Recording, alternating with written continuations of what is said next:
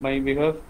Um, Okay. Yes, I have given the instructions and I request Manu sir to start the session.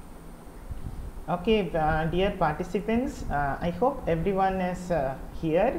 And uh, I, as I understand, this is the uh, first session today, and uh, the second session is uh, going on in, uh, in the uh, parallel session is going on. Uh, Christy Pauline ma'am is chairing that session. So, uh, just a brief introduction, uh, just a brief outline of the uh, rules and things like that. You have already seen the rules, I guess.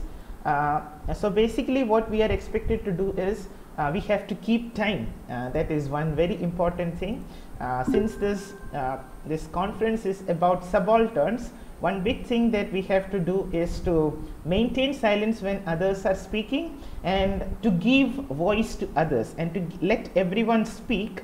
To give voice to others what we can do best is to keep to our time. I know it is not easy but uh, everyone please keep to your time uh, so that we will be able to complete the presentation uh, within some frame of time. So uh, as you know there are 26 presenters today uh, 28 presenters i guess uh, in this session. And uh, so it will take a lot of time definitely. It will take a lot of time. Uh, but it doesn't matter. Uh, we will uh, try to present as early as possible. And i request all of the participants to make sure that you are ready with your presentations. And um, if it is a novel don't go into the summaries. Make your presentation make your arguments clear. Tell us what your paper is all about what your main arguments are. And uh, you know that is the idea. Not don't go into the details of the story or or the um, uh, you know character description. Those things uh, or, or author description those things are unnecessary. Uh, as we understand this is an elite audience who, who knows literature. Uh, so we don't have to give them introduction uh, related things so uh, the proceedings will be like this. You will be uh, each person will be called to make the presentation according to the list. Only one person has asked for uh, uh, making the presentation earlier because of some illness. Uh, other than that we will be going according to the list itself. Uh, so be ready when when the person before you is making the presentation be ready. Two three people be ready because some persons may be absent. So be ready and uh, once you once you are called to make the presentation introduce yourself in one or two sentences that's enough. And then introduce your uh, paper um, the major findings the conclusion uh, and get done with that. And then we will have a uh, short uh, interaction. If there are any questions I, uh, I request everyone who has a question to post your question in the discussion box in the chat box uh, and and the participant uh, can uh, read the question from the chat box and respond to those questions. And then uh, I will be calling on the next person. So this is how we will be proceeding. And uh, regarding the rules of presentation as you know uh, you, the rules are given to you. So this session is recorded as well and it will be presented uh, made available on youtube so that you can have an evidence whenever you need an evidence for your paper presentation. So that will be good but uh, remember that you have to turn your camera on when you are presenting and otherwise uh, keep your you can turn your camera on no problem but otherwise keep your audio muted at all times except when when you are uh, presenting. Mute your uh, audio and you have to compulsorily turn your camera on unless it is a ppt presentation. If it is a ppt presentation uh, you can present the screen. Uh, that is it. And powerpoint presentation is not compulsory. Uh, you can uh, make a, uh, you know uh, uh, normal presentation as well. You can not a reading but you can improvise and you can uh, uh, make an extempore presentation. And you are expected to give a brief outline of your uh, thesis. So this is the idea now i am calling the first person uh, in our list uh, to make the presentation so the first person aruna devi is uh, are you here aruna devi Aruna Devi, if you are here, please uh, unmute yourself and say hi. Aruna Devi is MPhil research scholar. Is she here? I guess she is not here. Yesterday also she was absent. So Bhavatharini B, MPhil research scholar. Is she here? Bhavatharini? No. Okay. Um, then whoever was asking me for the first presentation, somebody said uh, he is unwell. You can make the presentation. Who was asking me to make the presentation? Yes, sir. Yes, sir. I was asking. Muhammad Farhan Sahil. Okay, okay, okay. Uh, please uh, come online and uh, make the presentation. Thank you so much, sir, for uh, allowing me to uh, making my presentation. Thank you, sir. Yes. Keep the time. First of all- Everybody, make sure that you complete your presentation in six seven minutes, so that we will be Yes. able to have all the presentations. Okay, yeah, go ahead. sure, Please sir. turn your Thank- thank video you. on and make the presentation. Yes.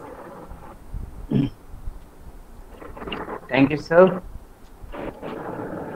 First of all, I am highly thankful, uh, Manu sir, and all the uh, participants to give me this opportunity to present my paper here.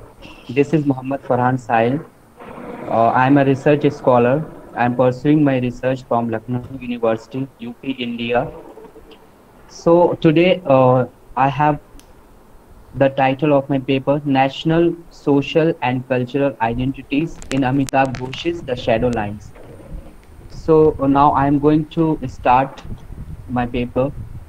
You know, the aim of such a study is to understand some of the various issues regarding our national identity, particularly the identity politics that can fully submerge a colon- colonized individual under, under its gigantic confusion. The author's humble hope out of such a study is to have an idea of insight into Amitav Ghosh's instance on national identity.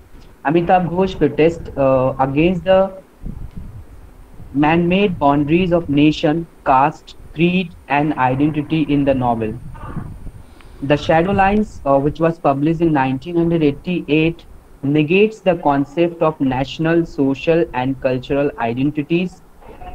In the novel, Ghosh gives the masses to cast aside cultural, regional, territorial, religious, and physical differences aside and join the hands through the bound of humanity. Uh, here we have the character uh, like uh, Prince, from a true relationship with one another, bringing West and East together. This paper seeks to shed light on the formation of cultural identity, crisis in a transnational space in Amitav Ghosh's novel, which chronicles the lives of characters who, after many upheavals, where cross-cultural caste, class, gender, and national collaborations blur all sort of boundaries and enable the formation of new alliances. In the paper, I'm trying to uh, unreveal how the novel presents the emergence of reconstitute families within context of domination and resistance. In the Shadow Lines, Ghosh deals with the issue of identity versus nationhood, the representation of history, and ultimately concludes that all borders are imaginary constraints. He dismantles history, the frontiers of nationality, culture, and language. It is a historical novel that focuses mostly on nationalism, identity, and the meaninglessness of partition and the 1964 communal rights which occurred in Calcutta, Dhaka, and Khulna. Further, uh, we know that in Indian English literature, the question of identity is often entangled with that of alienation. Ghosh, in this respect, trains a different path. In the shadow lines, the question of identity is worked through integration rather than alienation. The novel presents characters that are well entrenched in their sub, uh, surroundings even when they are traveling across culture. One set of characters in the novel are alienated from their surroundings and they sort of desire that alienation. Here we have two characters like Nick and Ila. The novel not surprisingly invalidates their position as having no positive force in dealing with identity formation. Another set of characters in the novel are the observe of this. They are deeply rooted in their cultures. They are even chauvinistic about their positions Thamma and Ruby, the novel does not find any positive force in their position either. The third set of characters are at once integrated into their environment as well as being open-minded in taking steps towards the others. Those who are traveling beyond the shadow lines. Steve, Maya Devi, uh, these are the unnamed narrator. The framework that emerges through these characters in the shadow lines is one which invalidates both alienation and chauvinistic and embraces an inclusive imagination. Uh, the narrative's desire to own the colonizer's world is often accompanied by disowning the colonized world. To disown India, Ila shocks her people, particularly the grandmother by her western dresses, and subsequently she shocks when Ruby and narrator by the uninhabited behavior in a hotel in Calcutta where she wanted to dance with a stranger. Indian culture comes with flying color through the idea of Ruby who was not ready to allow Ila to behave in a Western manner. He says that uh, you should not have do- done what you did. You ought to know that girls don't behave like that here. To answer Ila's Western arrogance, he reminds her that she stands in India where girls have certain boundaries which should not be crossed in any way. You cannot do what you like in England. He said, but here there are certain things you cannot do. That our culture, that's how we live. So uh, here I have quoted the lines of shadow lines. So in this uh, one-to-one conversation between Ruby and Ila, Ila represents the English culture. She behaves as an English girl who is not ready to act under the command of others. On Ruby's restrictions, she cries out, Do you see now why I have chosen to live in London? Do you see? It's only because I want to be free. So uh, at last, uh, at, at last, I would like to conclude my paper. You know, the novel implicitly suggests that the need for coexistence and strong humanitarian ties across cultures, overlooking personal, regional, and political considerations. It questions the meaning of political freedom and the force of nationalism in the modern world. It asks a very important uh, universal question that what is a nation? What is this great entity that nationalism serves? Does it even exist? Should it exist? And in the answers to these questions lies the key to understand the novel. That's it. Thank you so much. Thank you, sir.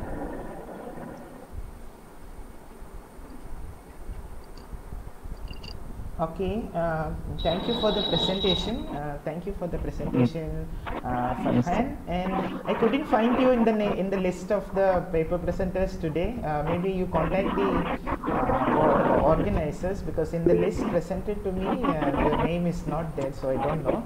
Um, please Yes. contact the organizers. Okay, anyway, your presentation Sure, is sir. over. Uh, does anyone have any questions? Any questions?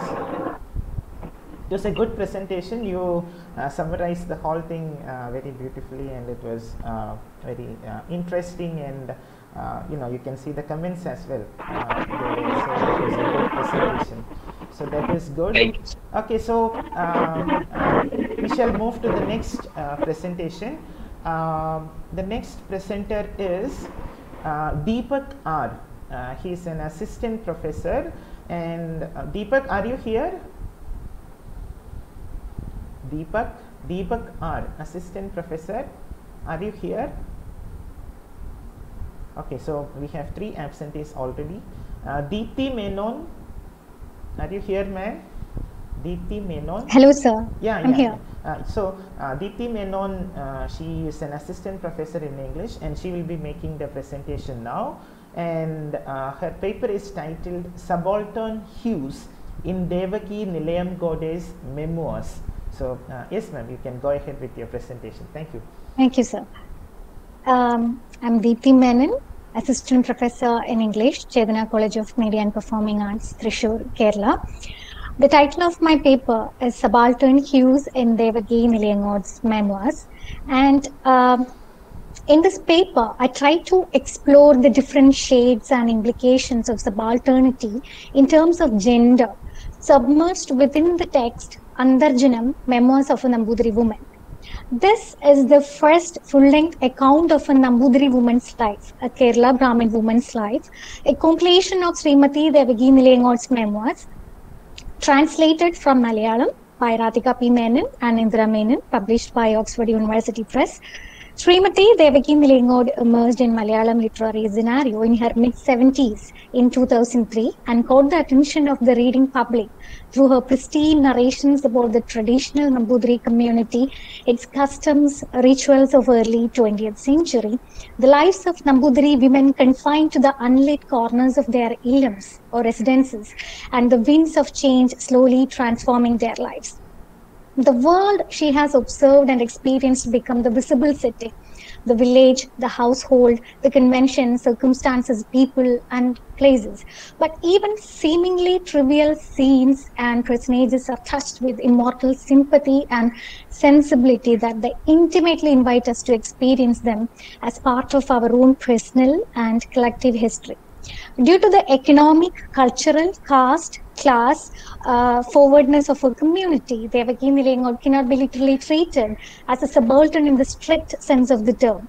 What is crucial here is to see that the gendered, old, homely, semi-literate Brahmin woman who's not a uh, professional writer, uh, who had experienced life within the confinements of a paternal world and who had survived in a society which was eclipsed by the dominant concerns of the commanding group is attempting at expressing her innermost feelings through the possibilities of narration, uh, deciphering submerged, subaltern voices and presence during the process. Kerala Brahmins, also known as Nambudris, during the early Middle Ages, shaped the society on the lines of the caste system and held a powerful position with a long history of uh, uh, socio-cultural and economic dominance and command over resources. They constructed and perpetuated a set of social arrangements that preserved their exclusivity and cultural uniqueness. Nambudiri women have always been a source of great fascination in popular imagination of Kerala. To an outsider's eyes, these upper caste women appear to lead a hedonistic and charmed life cocooned in his luxury. But Nilayamgode's writings call our attention to the manner of how the Nambudiri women's awe-inspiring exclusivity concealed the most covered and cruel form of patriarchal oppression within the household that robbed them not only of uh, uh, independence and education, but even the most simple and most innocent of joys, even in day-to-day life. Referring to the isolation and seclusion they were kept, Nambudiri women were called Antharjanams or Agattula Al, which means persons living inside, indicating their extreme homebound existence within the vast feudal estates. Nilayamgode attests that traditional Brahminism at that time was an extremely oppressive system in its treatment of women, in which the stereotypical male enjoyed a carefree existence, absolved of responsibilities, and women were subjected to severe forms of restrictions under the dominance of the menfolk. A deconstructive reading of the text excavates the finely drawn, subtle, yet determined attempts of resistance, how these subaltern lives who lived in marginalized conditions, suffering socio-cultural persecutions and political powerlessness, transformed their experiences into narratives of uh, resilience. Staying even within the confining areas of domesticity, Antharjanams had managed to establish female spaces of support, companionship, and modest enjoyments, and definitely efficiently managed the household.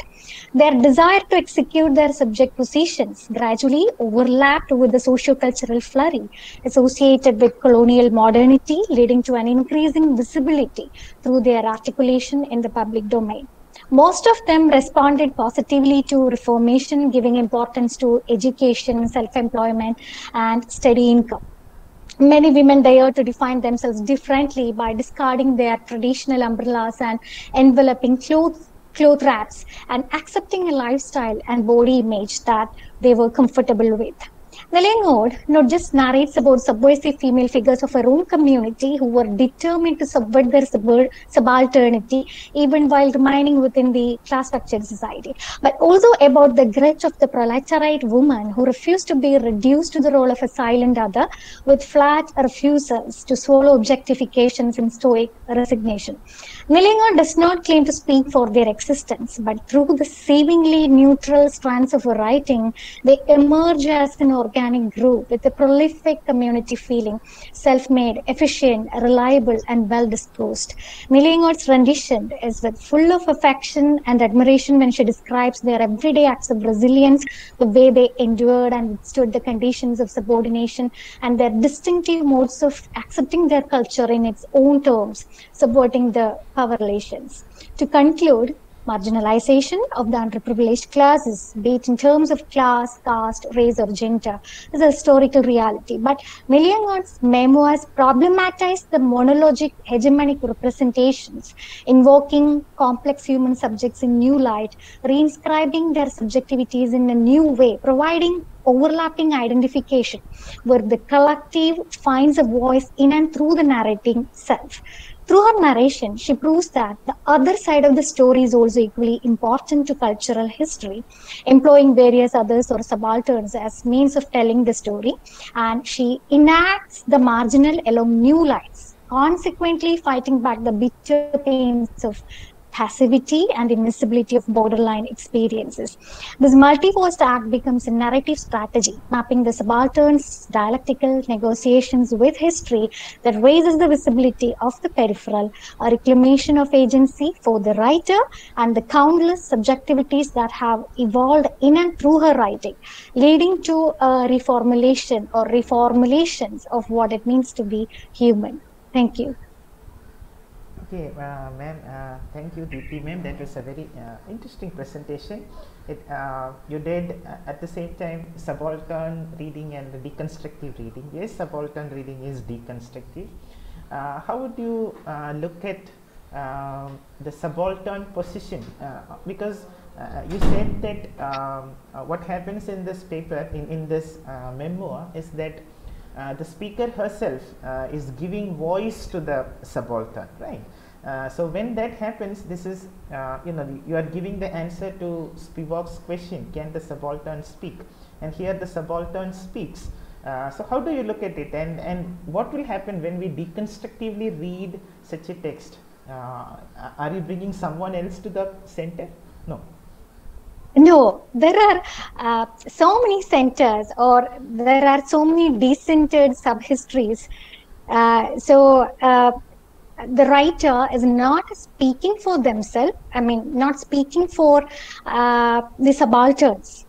She is allowing them to emerge by themselves through the characterization, through the representation of uh, the subalterns. She is allowing them to come into life. Okay, okay, that is uh, very interesting. Uh, please, participants, please ask your questions in the chat box. Um, why? Because you know this is there is a paper presentation competition going on as well, and presentation competition doesn't mean that you have to only present, but it depends on uh, your participation as well. So participate lively and encourage others. As uh, you know, uh, give them feedback through your uh, suggestions and questions. So that is also important. Uh, okay, ma'am. So that was uh, a wonderful presentation. Thank you, sir. Thank you so much. Thank you, sir. Yeah. Uh, so uh, we will have the uh, next uh, presentation, and that is a presentation by uh, the next presenter is uh, Miss Deborah Zo Stagi, uh, an assistant professor, and she is okay. She is looking at a poem. She is looking at Maya Angelou's poem "Still I Rise." and this is a feminist black feminist reading of Maya Angelou's poem. Are you there, Miss uh? Hello, are you there, Miss Deborah? Okay, I think there is an absence. Uh, Bhavadharini ma'am, uh, you asked for, uh, you were there earlier, you missed the presentation. Can you make the presentation now? Bhavadharini, are you there? No. Okay. Uh, so, uh, Mrs. Uh, K. Dhureshavar. Okay, Dhureshavar ma'am, are, are you here? Yes, sir. Yes, sir. Good afternoon. Okay. Uh, she is an assistant professor in English, a good friend of mine. Uh, a sub, uh, and, and her paper is titled A Subaltern Study of the Novel Six Acres and a Third by Fakir Mohan Senapati. Okay, a subaltern study of a novel by Fakir Mohan Senapati. So, uh, welcome uh, today, show, ma'am, to make the presentation. Thank you. Yes, sir. Okay. Thank you. Thank you so much. And it's a great pleasure for me to talk to you and like to listen to your lectures. Thank you so much, sir. Am I audible? Yes, yes, you are audible, you are visible. Go ahead, please. Okay, okay. Thank you, sir. So basically, my topic. Uh, so this is Dhureshavar, and uh, I am working as an assistant professor in the Department of English in Panimalar Institute of Technology. And uh, my topic basically is about the subaltern study of the novel Six Acres in the Third Fakir Senapati. So just two lines about this novelist is that he is considered as the father of Odia nationalism, and he is also a very important figure in modern Odia literature. So with that uh, very small uh, introduction about him, I would like to delve into my topic. So the proposed paper attempts to analyze the novel Six Acres in the Third from a subaltern perspective. So this basically foregrounds on the facets of the subaltern and the aftermaths which are confronted by the characters in the text. The novel is basically set in the colonial India where uh, the peasant class is subjected to the exploitation and, and it makes them suffer and lose all their land there are like various in- instances in the novel that effects that delineates the effects of the hegemony and the subordination. The subordination of the working class, that is the peasant class, the small scale landowners, and the other workers are the major victims of the crisis that takes place in the novel.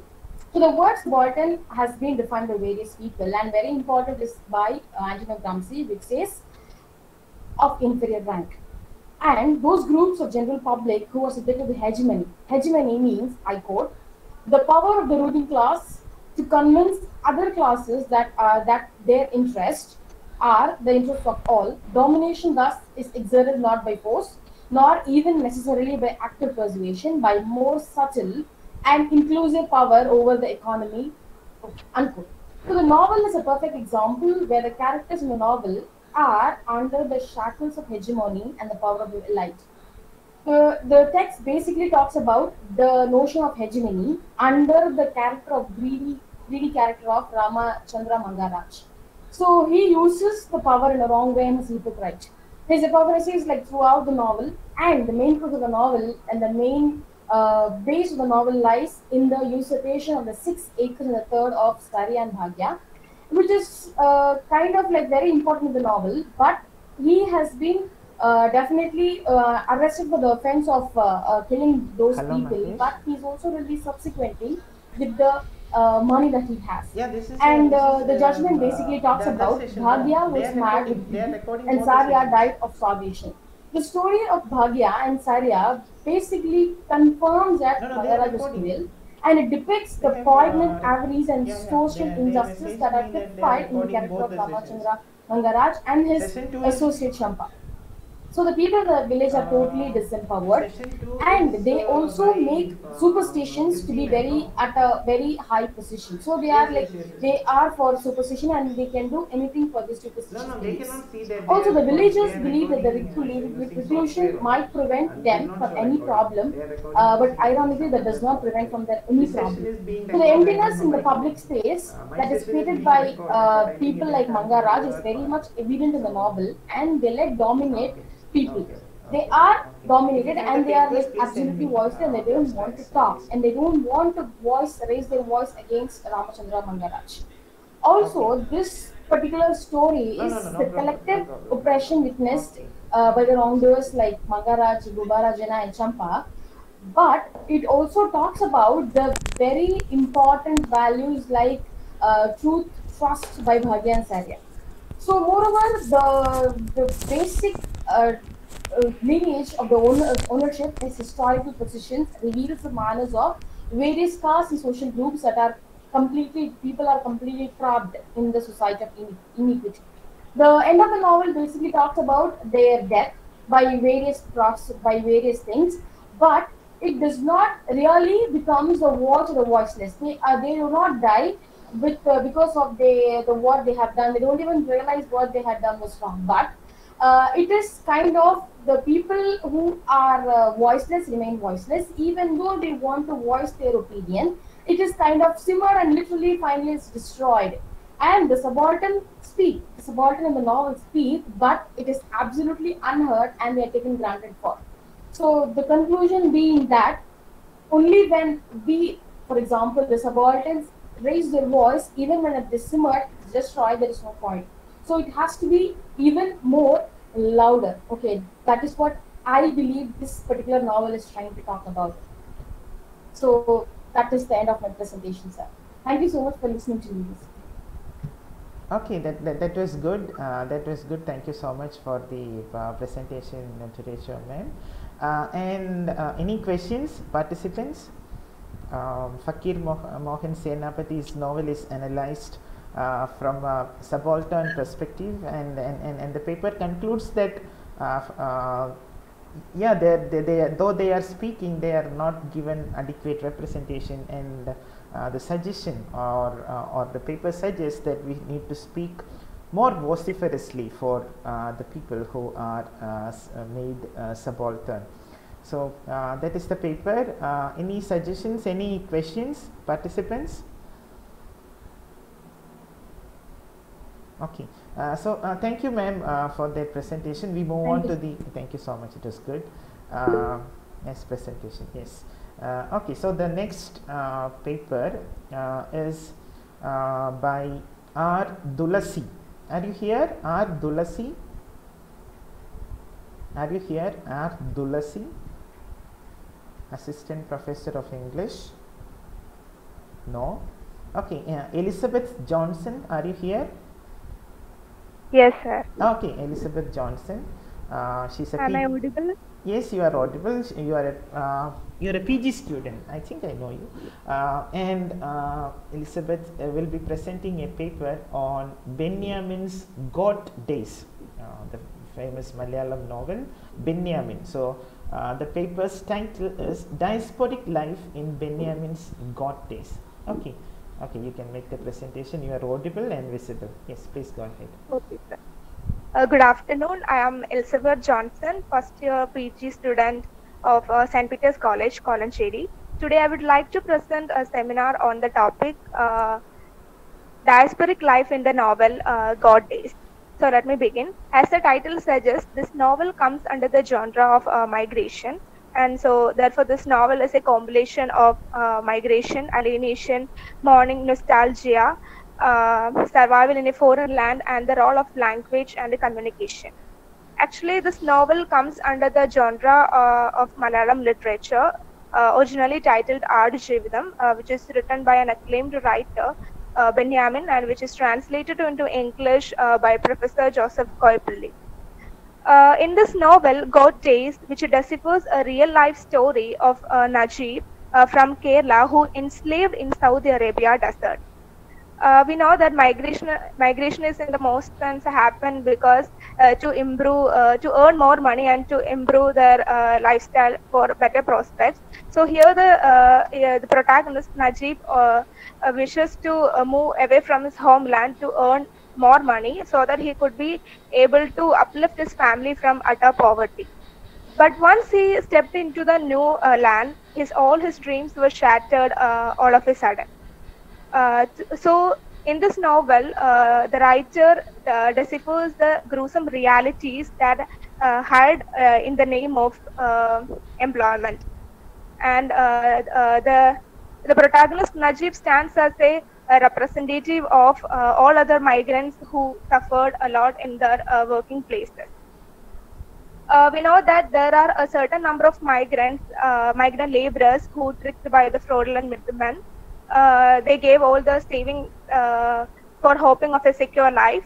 So Najib's case was similar to uh, to this. Uh, here, he was deceived and taken by a rich Arbab cattle farm supervisor, and uh, he uh, made him his slave. Uh, and he was under his slave around three and a half years. And his job was to tend to his job was assigned to tend goats, sheep, and a camel. And uh, his uh, his life uh, life in the desert was uh, really very pathetic. Uh, the uh, his master was very cruel, uh, very harsh, uh, like a savage. He always forced to do the protagonist, the Najib, back-breaking work, and kept him half hungry and denied water to wash. So he suffered a lot. We know that here the farm supervisor is very savage and he doesn't give a consideration of a human. So uh, a crisis emerged out uh, from this section is identity crisis uh, because uh, once he stepped into the uh, new land from the very day onwards uh, his identity uh, transforming uh, that we can see from the beginning of the uh, novel uh, the another important section uh, mentioned in the story is the lack of proper communication and the language barrier is another crisis for is Agni. Uh, if he know the language, he won't uh, fall into this uh, deep precarious situation. So another thing is we know that we humans are a social animal. We always need to communicate with each other to share our emotions and all. So here the Najib uh, doesn't find a, uh, a single man in the in the desert alienated land rather than some animals around him. So what he uh, do is he try to find out uh, himself as a member of the animals around him.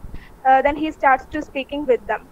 So this is an another uh, instance which is showing the crisis of identity crisis. Then the novel Goat Days also highlights the existence of hegemony of Arbab, uh, that means the master over uh, Najib. And also the Benyamin uh, portrays Najib as a subaltern who was under the control of his master. Subjugation becomes the victim of psychological trauma due to the loss of his identity. Uh, then the final section of the novel, uh, which describes how he uh, move away from the hell, and uh, finally, uh, with the help of a man named uh, Ibrahim uh, from the neighboring farm, with the help of him, he got a chance to escape from the hell, and somehow he reached the prison, and from there he got visa and he come back to his home. So, in this, through this novel, the writer panoramically reveals the harsh realities of migrants uh, who suffered in the alienated land. So, through this novel, a writer uh, effaced uh, the prejudice that uh, all the migrants, are, migrant laborers, are very happy in the uh, in that land. Thus, the writer succeeded in justifying uh, the real facts of uh, those migrant laborers in the uh, in the in the name of employment. So, I am concluding my words. Thank you. Okay, to come from a PG student, this was a, a good paper. Um, you, you summarized and analyzed Goat days from a very typical diasporic angle. And yes, diaspora is the overriding concern of the novel.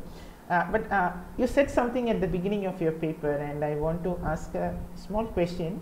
Uh, see, you said that people migrate to other countries uh, mostly for economic benefits. And Yes. we also find uh, that this diasporic literature largely thrives on the feeling of nostalgia and rootlessness and homelessness that these diasporic writers experience. So, don't you think that there is a double standard there? There is a hypocrisy because they are going there to make money and uh, to make uh, to to improvise their conditions, to improve their situation and then they go there and sit there and they cry about uh, their motherland about rootlessness and homelessness and uh, in, in our modern times when uh, you know modern uh, means of communication and transportation makes it very easy for somebody from the united states of america for example to uh, come to india in a matter of a day do you think that this rootlessness is really there? This homelessness is really there? Or is it a strategy employed by the writers to exploit uh, the market tendency which supports uh, diaspora? I mean what is it? Is it a strategy or is it really a dias- is it is there really a diasporic consciousness? What do you think on on the basis of your reading of this goat days? What do you feel? Uh, in my personal opinion, yeah, there are uh, many migrants are suffered a lot in the uh, in the alienated land, and this novel comes under a, a real story of a man who suffered a lot in the uh, migrant land uh, uh, because mainly his you know uh, this happens because of his lack of lang- uh, language barrier, unknowing of the language. That's why he, the master was mis- misunderstand him and taken away into the uh, deserted and makes him to do all these all those uh, back-breaking works and all. Uh, there are some people who uh, moved uh, and succeeded in the life in the uh, uh, in the Gulf countries in the name of. But still, there are some uh, people are uh, there for suffering uh, uh, through this precarious situation. But in the most sense, we don't know uh, about the real facts about the those people uh, who working in the uh, uh, Gulf uh, Gulf countries. Okay, okay. Uh, any question? Uh, okay, any questions from the audience? Questions, suggestions, comments, anything? Okay, uh, so I think uh, that is it uh, for uh, that paper. So uh, that was a very well presented paper, and I'm happy that PG students uh, in this conference. One thing that uh, that is really delighting me is the fact that more and more students are coming up with paper presentations and coming up with new topics, new new ideas, and coming up with research. There was a time when college students PG students didn't have any idea about research. Uh, during the days when I was a student, for example, we never knew that there was something called a paper presentation. Now it, it's a very uh, encouraging trend that uh, PG students are coming up. So uh, that was a very uh, nice presentation. Um, uh, Goat days viewed it from a, diasporic perspective, an obvious angle, but you presented some interesting concept. So uh, that was very good. So uh, we move on to the uh, next uh, paper in our uh, session. And uh, the next presenter is Gopika R. Nair. Are you here, Gopika? Gopika, are you here? Can somebody hear anything? Is Gopika here? I guess no. Um, so uh, we move to the next uh, paper presenter, Himakshi Kashyap. Himakshi, are you here? Himakshi? Yes, sir. Oh, come on. I am here. Yes, Himakshi. So Am I audible, sir?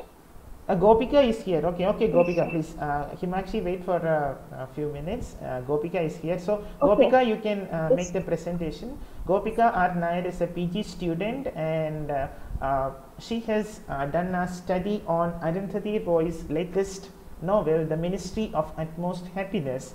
And the paper is uh, titled A Haven for the Subaltern The Implication of the Jannat House in Arundhati Roy's The Ministry of Utmost Happiness. Uh, welcome, Gopika. Please make your presentation.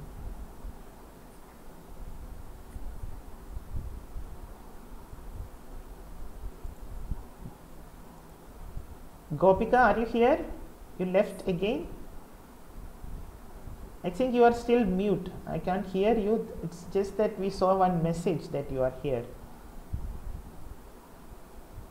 Gopika, unmute yourself, turn your video on, turn your audio on, and make the presentation.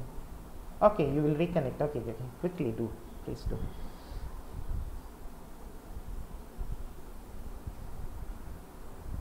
Yeah, there is something wrong. Something wrong.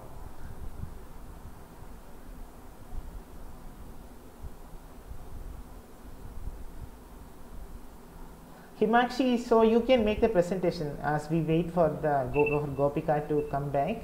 Himakshi, can you make the presentation now? Yes, sir. Yes, sir. Okay. I have a PPT, sir. yeah, yeah, you can make the Uh, you get the presentation ready. I will read your read out your topic.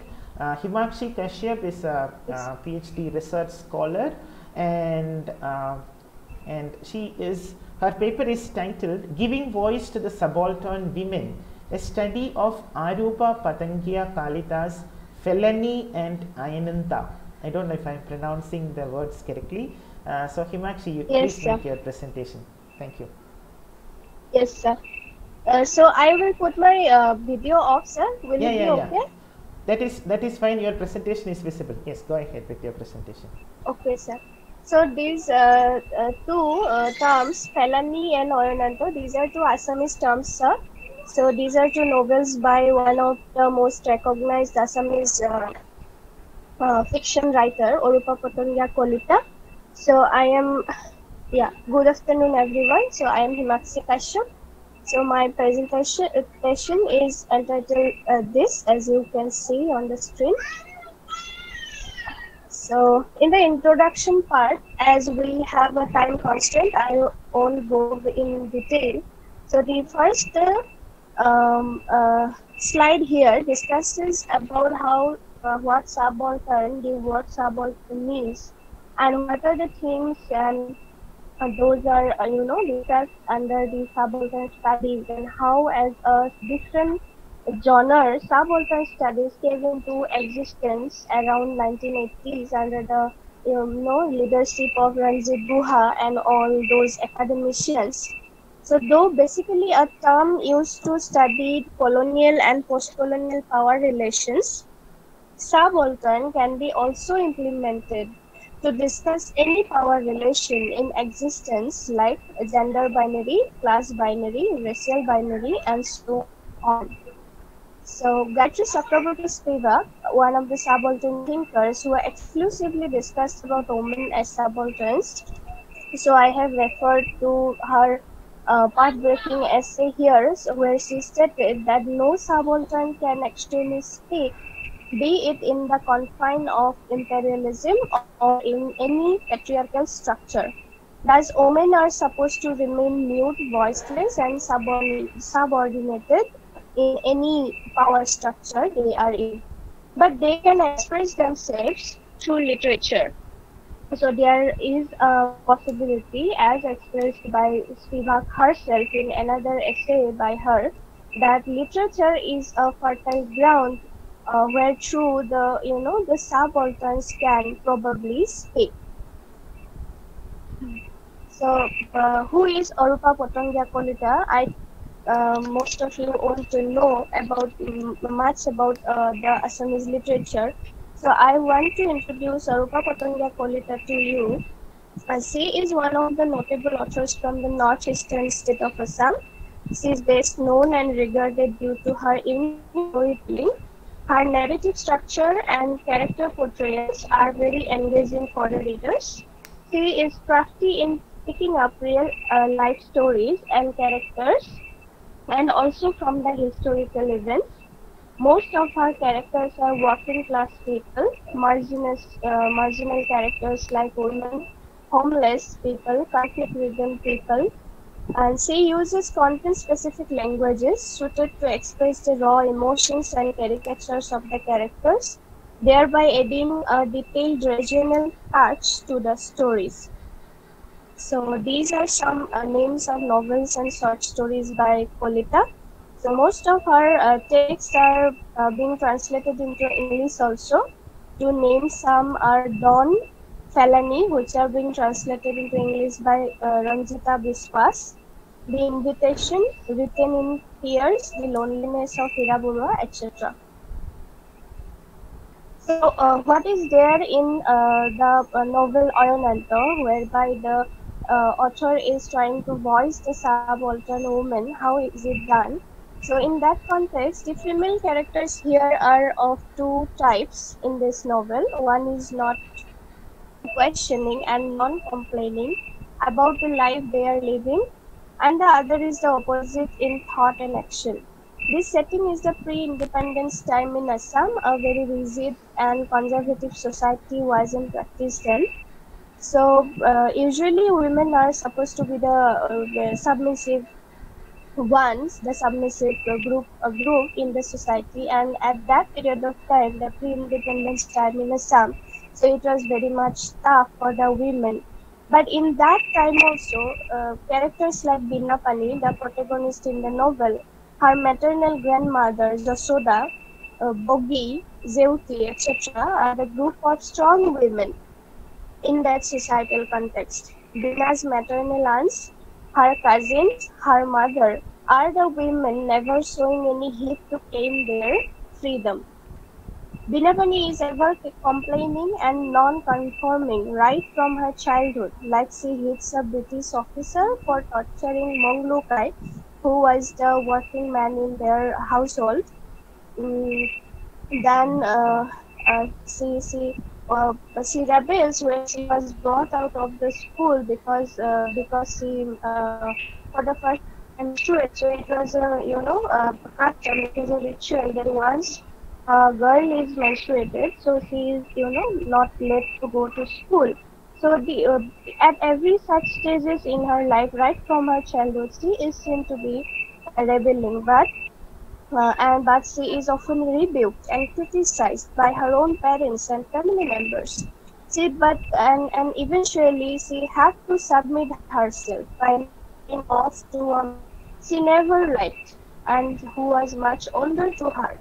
But soon after the birth of her uh, two children, she acted boldly and left the bond of marriage to start her life anew. She left the household and she started living uh, alone and also and also you know uh, called upon um, uh, called upon an illegitimate daughter of one of her cousins once. Uh, so her name is Togger, and she helps Togger to achieve everything she herself couldn't achieve in her life.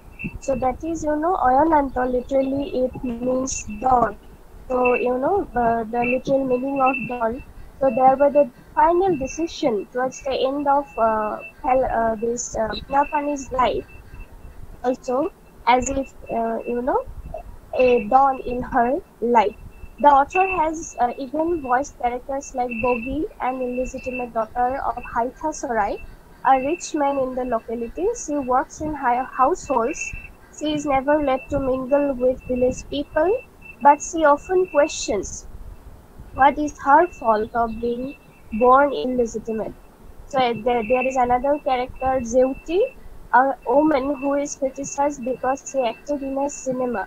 So in those times, uh, if someone, uh, if some uh, woman or any girl, uh, you know, adopted to go to a cinema, so she was also uh, harshly criticized by the society. She was not accepted as a part, or she was not honored so much in the society. She never wastes time thinking about the society.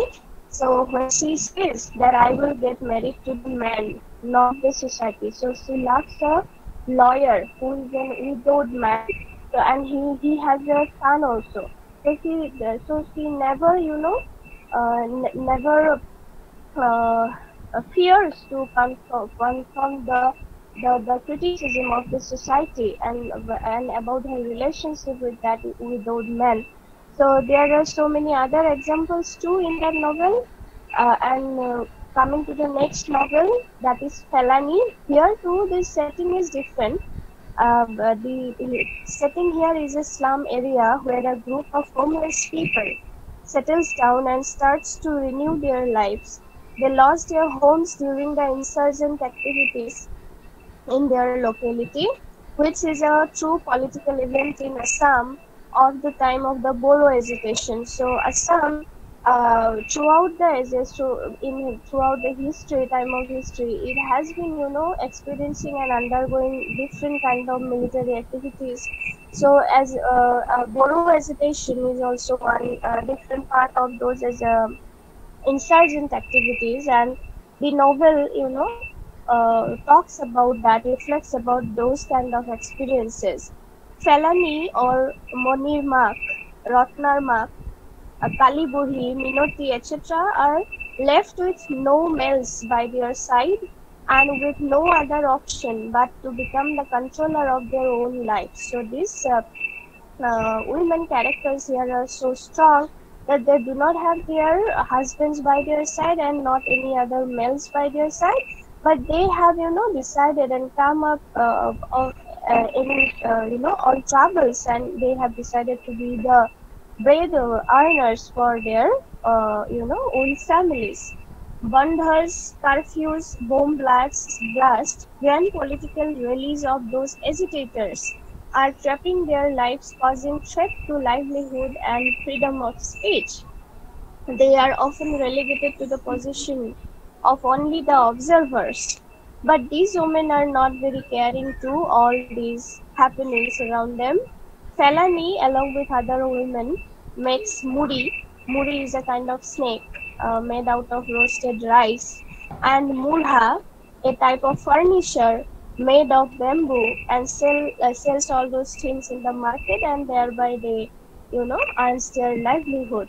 Kali Burhi is a woman uh, with a manly voice. She earns by foretelling people.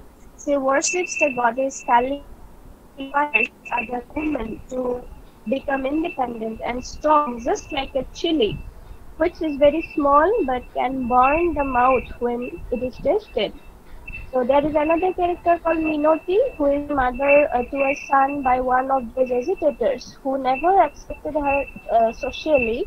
She lives him shelter in her hut to hide uh, from the authority, but never depends on him totally. She also earns by selling things in the market. So here, you know, in this uh, novel, the market uh, uh, serves a very crucial and uh, crucial because it it all those you know sabotage women whereby they can you know earn their own livelihood and appear to be uh, uh, strong. Okay, so in the conclusion part, the two novels are documentary details of the strong and brutal women of two different time frames in Assam. It has not only created a proper ambience for the female characters to express themselves in their own identical ways, but also it lets the readers engage with their lives with a real reference to history. So, as a fiction writer, Kalita has succeeded telling the stories of those women who are never submissive and dependent, though they hail from very remote areas of the state. They are women who took care of themselves as well as remain storehouses of many uneven experiences. We know now how was the plight of women in Assam in the past days and how they dealt with it. So yeah, so this is the uh, end of my presentation. Thank you, sir. Okay, uh, Himakshi ma'am, uh, that was good. Uh, still I cannot pronounce the names correctly, so I'm not pronouncing. Uh, but uh, the author and, and her works, thanks for introducing uh, an interesting writer from Assam uh, to us. And uh, we also found something interesting about the pronunciation of words. Guess words starting with. A are pronounced as O, right? Uh, uh, or Arunita Oh. is Orunita. Yes. Orunita. Okay, that was interesting. I just uh, Oh, yeah. because there are no questions from the participants, I am again asking questions. Don't think that I am a Pandora's box of problems and questions. I have to ask some Yeah. questions. So, uh, in the uh, in, in, in, in the uh, what you call in the PPT, you pres- you said that Spivak uh, elsewhere had said that literature can be a means of expression for the subaltern you Yeah. refer to some Yeah. other essay, some other place where uh, Spivak uh, has said that. Where is it? And uh, can you throw some light on it? Because uh, the problem is uh, when we say literature, what is literature? Is it canonical literature or is it literature? How do you distinguish or how do you define that literature which um, Spivak herself speaks about? Because she herself when she uh, Yes. does representation gives representation to subaltern writers we sometimes see that she is referring only to canonical writers um, um, Bharati or uh, R.K. Narayan, those are canonical writers. So, is it really practical just by saying literature, or or, or do you think that even uh, popular literature uh, and social media does all these things come under the purview of what uh, we can call literature now? Because that is where uh, subalterns get a lot more expression than in mainstream literature. Do, what do you think? Uh, actually, I was going through some research papers where, uh, while uh, you know, writing this paper. You are not audible, Himakshi. You are not audible. uh, now, now audible? Hello. Hello, sir. Your audio is not properly working. Uh, can others hear, or is it just me who cannot hear? No audible, sir. No. Yeah, yeah. Go ahead. No, sir. It is not audible. Yeah, yeah. Not audible. Not audible. No, sir, that we can't hear. I try to. Uh, yeah, yeah. Continue. Continue. No problem. Let us not waste much time. Yeah.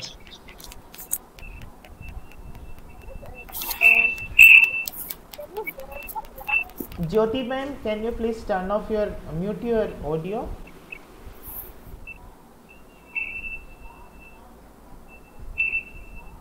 Yes. Okay, Hello, sir. Yes, yes, yes. Continue, continue. Yes, sir. So actually, I was going to say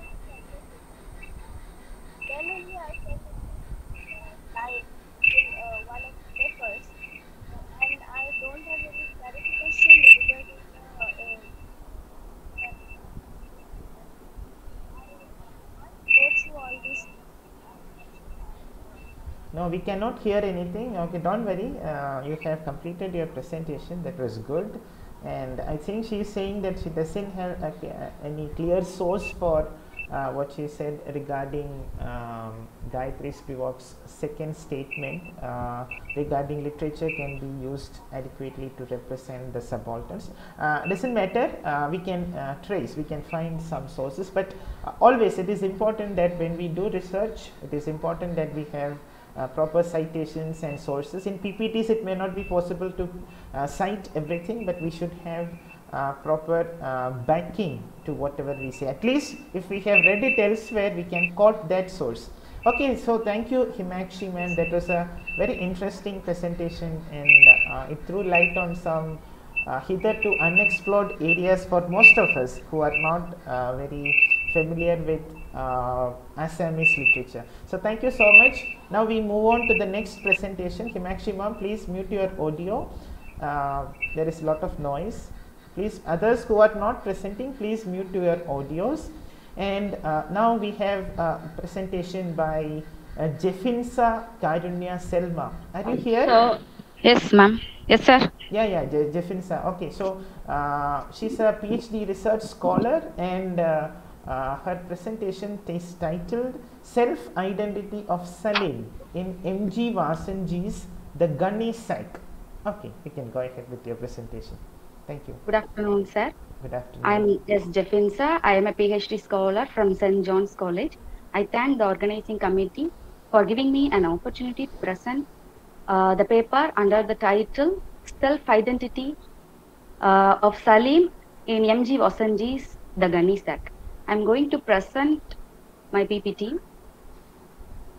Shall I, sir? Yeah, yes, yes. Go ahead, go ahead, please. Okay.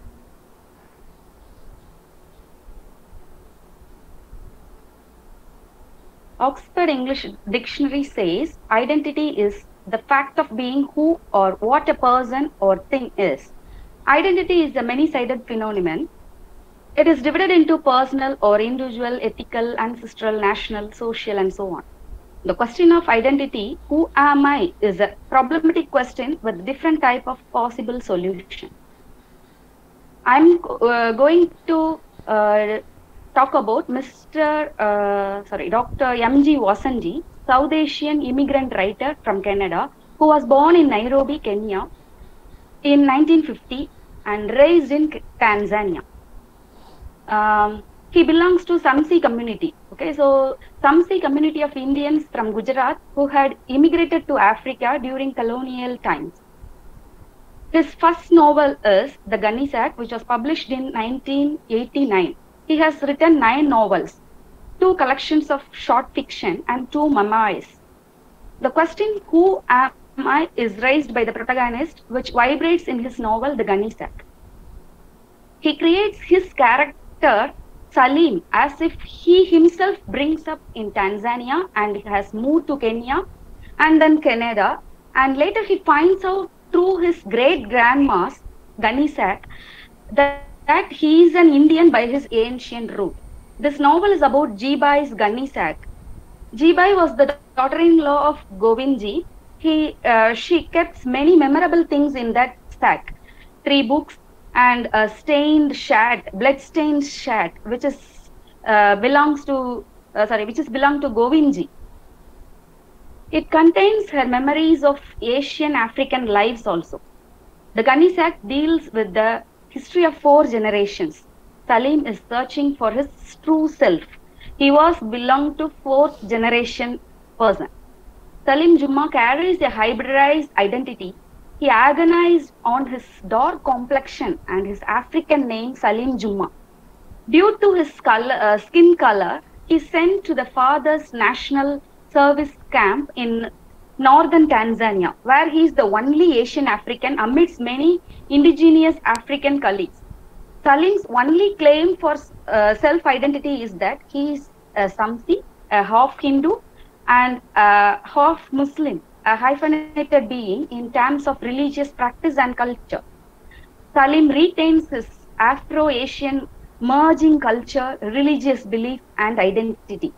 He has an uh, interest to know about the past of his father Juma, grandfather Husaini, great grandfather Dhananji, that is Jan, Dhananji Govindji, okay, and his great grandmother Tera Taibu, who was an African. Salim sees Tera Taibu in every slave woman.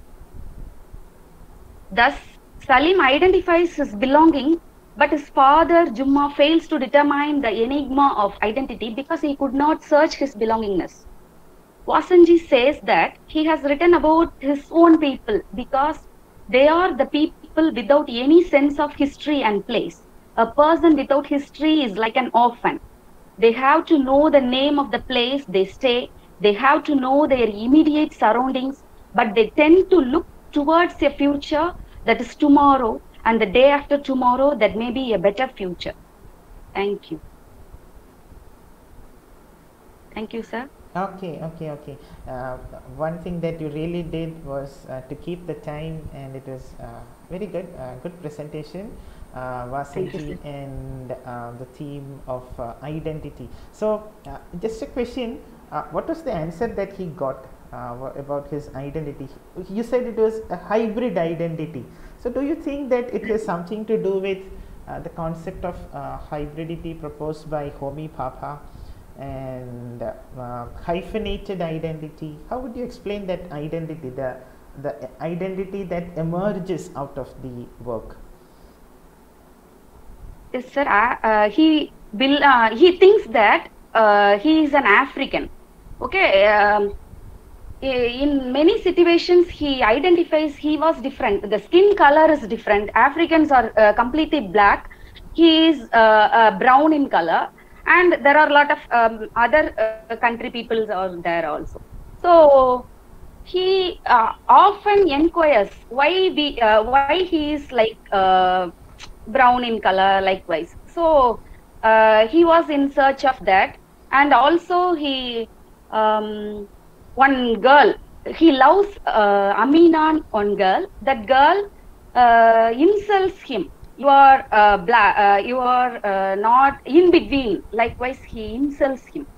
You are not an african as well as uh, something else. Likewise he she insults. So he wants to find out who am i. So he is in search of that. Meanwhile he got a gunny sack from his grand uh, great grand uh, uh, mother. One day uh, he searches that what is inside and uh, he goes through that three books. Among that uh, he knows his identity. Okay he was an indian by root. Four generation they doesn't know uh, sorry they don't know he's he belongs to indian or they belongs to indian. That uh, uh, govindji only uh, knows he is an indian but others uh, african they think that uh, they are africans. So uh, uh, at last he finds out his uh, his ancient, ancient root is from india. And does that answer his question? I mean who am i?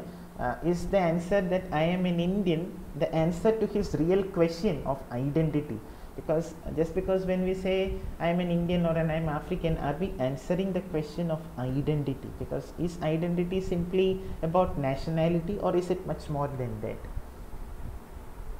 Yes sir. Uh, i think it is nationality only. Uh, okay. Okay. That is the concern within the novel right okay. yes, yes. okay okay that is fine. Uh, that was interesting. Uh, and another another work uh, we have seen from an identity hybrid identity point of view.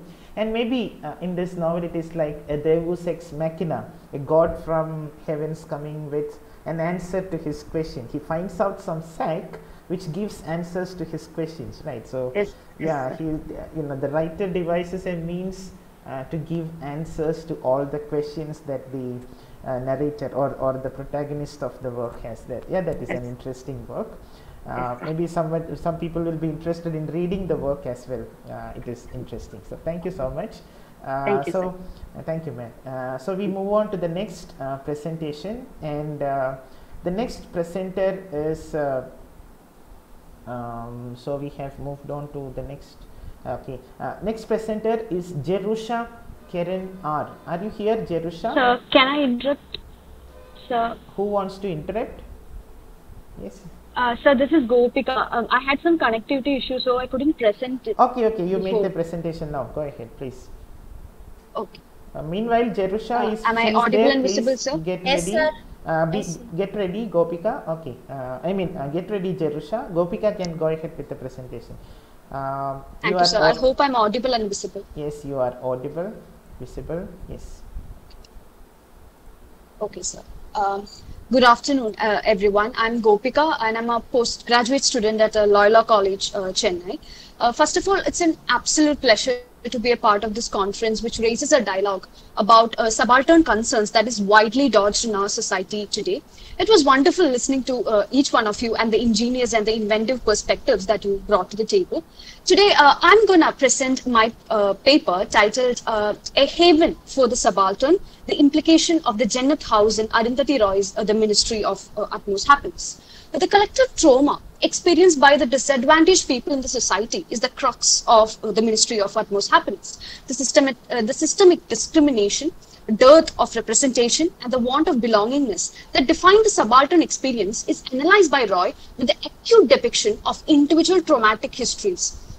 She includes the panorama of subcultures that exist within the subaltern community in order to liberate the narrative and to prove its universal significance. Uh, in this way, trans community, orphans, Kashmiris, elderlies, Muslims, and women acquire representation in this framework. This mode of institutionalized discrimination that are subjected that they are subjected to is sidelined in history and is generally eschewed in meta narratives. Roy turned the tables by uh, bringing the historically discriminated characters to the forefront and giving them the reins to construct a narrative of uh, their own. Uh, the objective of this paper is to illustrate the metaphorical use of locales in Roy's uh, Ministry of Utmost Happiness, which champions the theme of collective trauma as experienced by the subalterns. In this way, the paper aims to throw light about the significance of Jannat House in the narrative and its implication when juxtaposed with Kashmir and Kuaba. Also, the larger idea is to expound uh, the resemblance in human suffering at the hands of hegemony, which is still a unique individual traumatic episode. Uh, one of the chief findings of uh, the paper was the symbolic significance of the locales, as I mentioned before, because the chief settings substantiates the novel's theme of power relations. The Kuaba, Jannat, and Kashmir are all home for the oppressed. Kuaba is a home for the transgenders. It's a temporary get- getaway from the hegemonic system.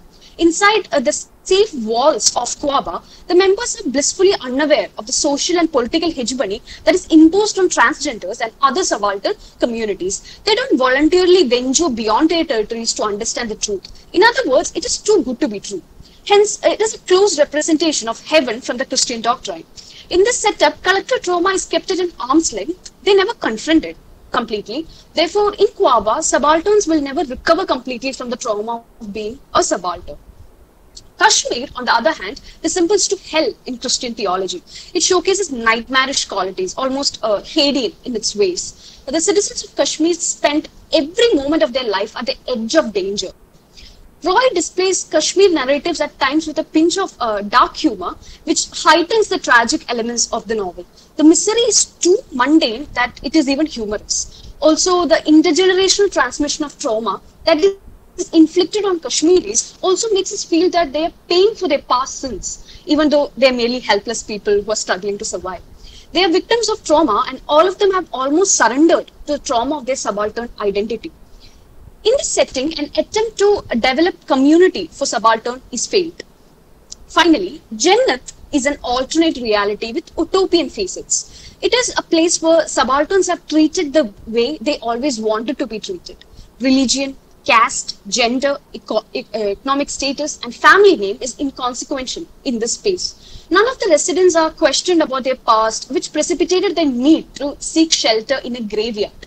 Yet, uh, there is a silent collective recognition of the fact that they are all psychologically wounded by the knowledge that they are alienated by the society. While Quaba is a harbor for hijras, Jannat is a resort for subalterns of all kinds. The members of Jannat House are from divergent backgrounds. Each of them have individual horrific pasts that are unfathomable for others. Yet they cling on to each other so as to survive the horrific reality that they are exposed to. Unconditional support and unwavering affirmation are the mottos of Jannat. Here, collective trauma is fought back with collective relief. By placing Jannat in a graveyard, Roy implies that the subaltern people are perceived by the larger society as dead-like. They are considered so impertinent uh, that the society and the political machinery has no record of their existence. Roy uh, invents a prototype milieu for the oppressed people, which follows avant-garde practices. Uh, mythical customs and its implications take a backseat in this uh, situation. Hence, uh, Jannat metaphorically showcases the tumbling down of the hegemonic system uh, also, Roy proves that there is no ordinance that brackets the extent of subaltern uh, experience. The ordeals are diverse and distinct at the same way. Uh, to conclude, Jannat is an imaginative rendition of Roy's socialist ideals. She institutes a community for the socially oppressed. It is an autonomous body which provides economic and emotional sustenance for the disadvantaged. Its utopian attributes metaphorically crucify the atrocious nature of the present society. It showcases aspirational traits that should be a benchmark for the future of humanity. So these are my chief findings. Uh, thank you for the opportunity and thank you for hearing me. Okay, that was uh, a rich paper, a lot of ideas, a lot of uh, theoretical frameworks and lot of theoretical terms were brought in and I was happy to see uh, words like hegemony and milieu and uh, chronotopes right space space chrono uh, those things Yes. uh, brought in and assimilated. I have uh, a couple of questions. Since none of the participants are asking dear participants please ask questions. These young people are making wonderful presentations and it is uh, very sad that you are not having any questions so i, I have a couple of questions uh, one is it Arundhati Roy the writer we know who wrote uh, the Ministry of Utmost Happiness or is it the activist Arundhati Roy? Uh, the first question, yeah.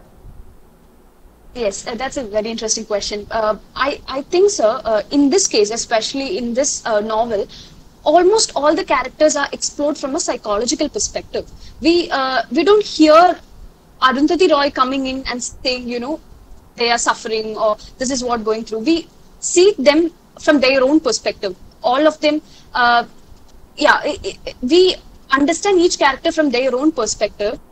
Uh, I- I genuinely think uh, Roy, as an activist, takes a backseat as far as this novel is concerned. But at the same time, uh, the artist in her is very much, ex- uh, I mean, inspired and uh, triggered by uh, the activist in her. That's what I think. Okay. Uh, second thing, uh, space, the issue of space. Uh, I, don't know whether you have explored that in detail in the paper because of time constraints. We couldn't do that in the presentation. So, uh, wha- how this uh, idea of space is explored? I mean, by your paper, one thing, and how Okay. this uh, Kashmir, uh, you said, you know, we generally consider Kashmir as a very beautiful place, as a paradise on earth, and you also said that, uh, you know, as per Christian mythology, it it, it, it, it, gets the uh, it gets it looks like a hell. Uh, so how does Yes. this uh, you know uh, dichotomy uh, reconcile in the novel the, of heaven on earth or a paradise on earth and uh, and uh, as per Christian mythology a hell? How will how does the novel reconcile this opposition?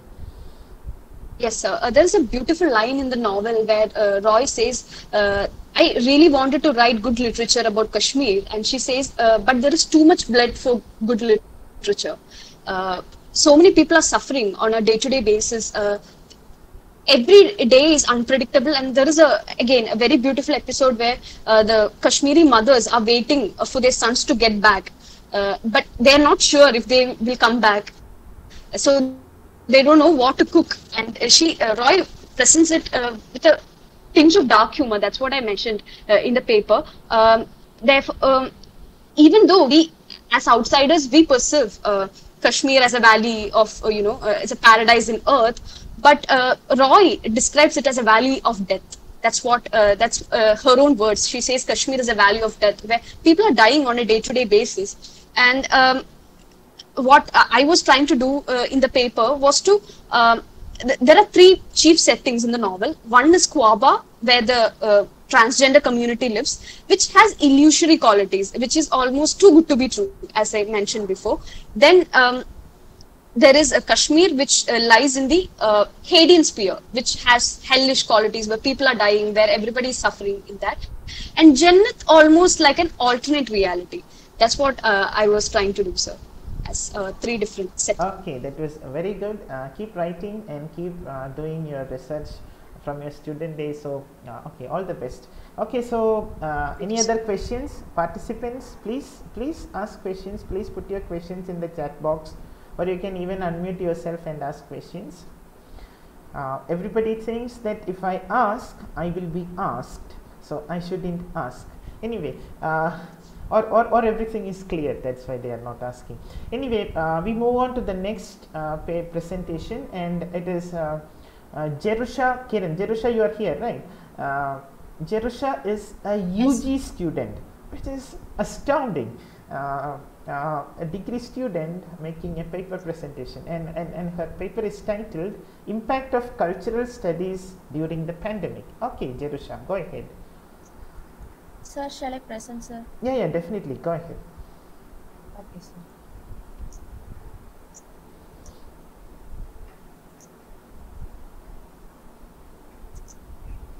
Sir, I'm audible. You are audible, but uh, your presentation is. Hello. Yeah, you are audible. Yeah, your presentation ah, is yes. visible as well. Yeah, go. You can start. Yes. Good afternoon to all. Uh, First of all, I thank Manu sir for giving this opportunity. I'm Jerusha Keren from CSI Ewart Women's Christian College. And my topic is about the impact of cultural studies during this pandemic. Yes, uh, coming on to the introduction, uh, the world, the global COVID 19 has robbed our norm, normal life. We all know that. And then, uh, what the cultural studies is actually is cultural studies is in in fact the study of uh, the way in which culture is constructed and uh, organized and the ways in which evolves and change over time and then the covid crisis has uh, quickly prompted prompted a realization from the early days of the pandemic and uh, the situation far exceeding public health has emerged with frightening social and cultural and geopolitical implications. And then of course it's a dreadful pandemic. Many of them were uh, dying due to coronavirus. And then uh, the deadly global pandemic is uh, enough to overwhelm physically psychologically spiritually and uh, intellectually. And over uh, 163 million people were affected by coronavirus and about 3.3 million people have died. It is the information from uh, WHO and people are suffering to get oxygen beds also. And uh, going on to the multiculturalism uh, the virus has resulted uh, pandemic due to the international swapping of people and services the imposed and the and then we got that lockdown also. And then the covid-19 pa- pandemic results into the similar thought process which can further write a new history for the parameters of this cultural exchange. People could not travel all over the world. The people traveled people who traveled overseas for career or tourism ventures has uh, suffered a great deal due to this COVID-19 and then this multiculturalism results in enriching the ethnic and uh, creative, social, economic and personal aspects of humanity. And then but at the same time uh, evils such as pandemics emerge out this uh, cultural exchange process too. And in this pandemic world leaders deals with global crisis uh, judicially to ensure health and also harmony uh, across the borders. And impact of covid-19 on culture. Uh, cultural institutions were closed. Uh, the education is through conducting by through online, and then the cultural tourism sector is also greatly affected due, due to this pandemic. And the impact of this covid-19 on cultural sector is being felt around the world uh, this impact is uh, of course uh, social economic and political all over the world. And then the regional organizations have also taken the lead in supporting impact uh, assessments on this uh, cultural sector. And C19 in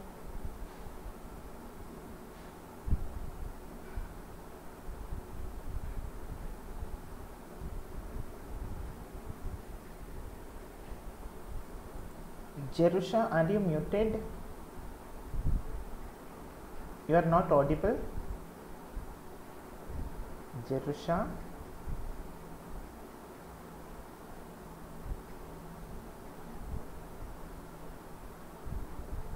Have we lost connection?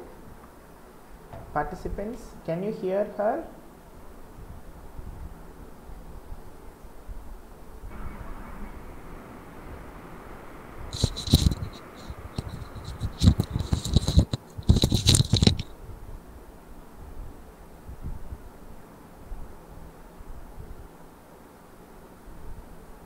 Am I there or is anyone else there? Okay, okay.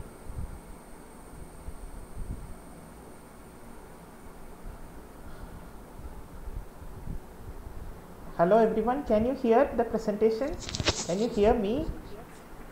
Uh, we can hear you, sir, but we can't. Uh, she uh, Jerusha is not heard. Jerusha, can you hear us? Try to rejoin. Uh, your presentation is over. Still try to rejoin.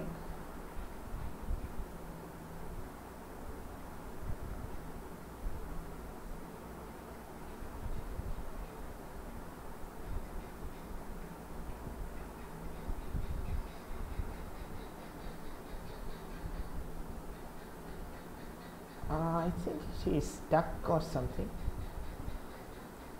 Okay. Uh, once she gets back, we will uh, continue with her. Uh, meanwhile, we can go ahead with our next presentation.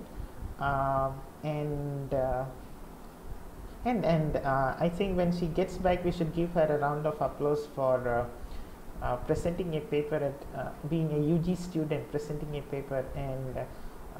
You know, we normally think about a cultural studies reading of the pandemic, but she has looked at the impact of cultural studies, uh, impact of the pandemic on cultural on culture, and yeah, uh, it sounds a little uh, simplistic, but uh, she has brought some very interesting points as well, uh, like uh, how marketing and how multiculturalism and globalization has resulted in, I mean, something that we consider a blessing how those things have resulted in the pandemic as well. Interesting things.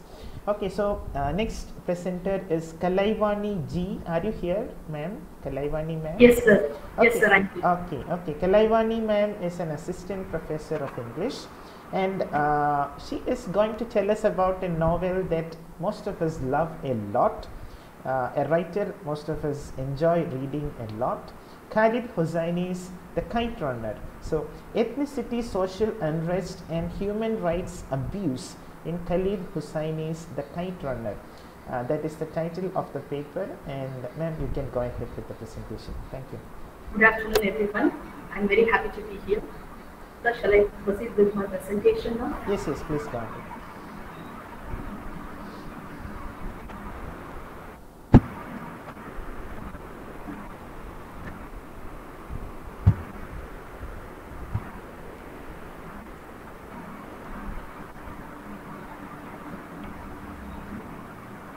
So, hope everyone can see my presentation.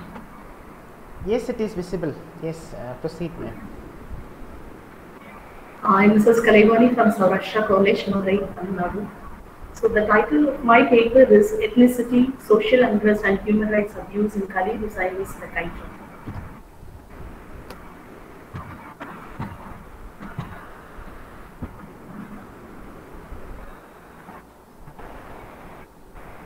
Let me tell uh, what my paper focuses on. So it talks about ethical issues, violence and social unrest in Afghanistan as depicted in Khaled Hosseini's novel The Titan.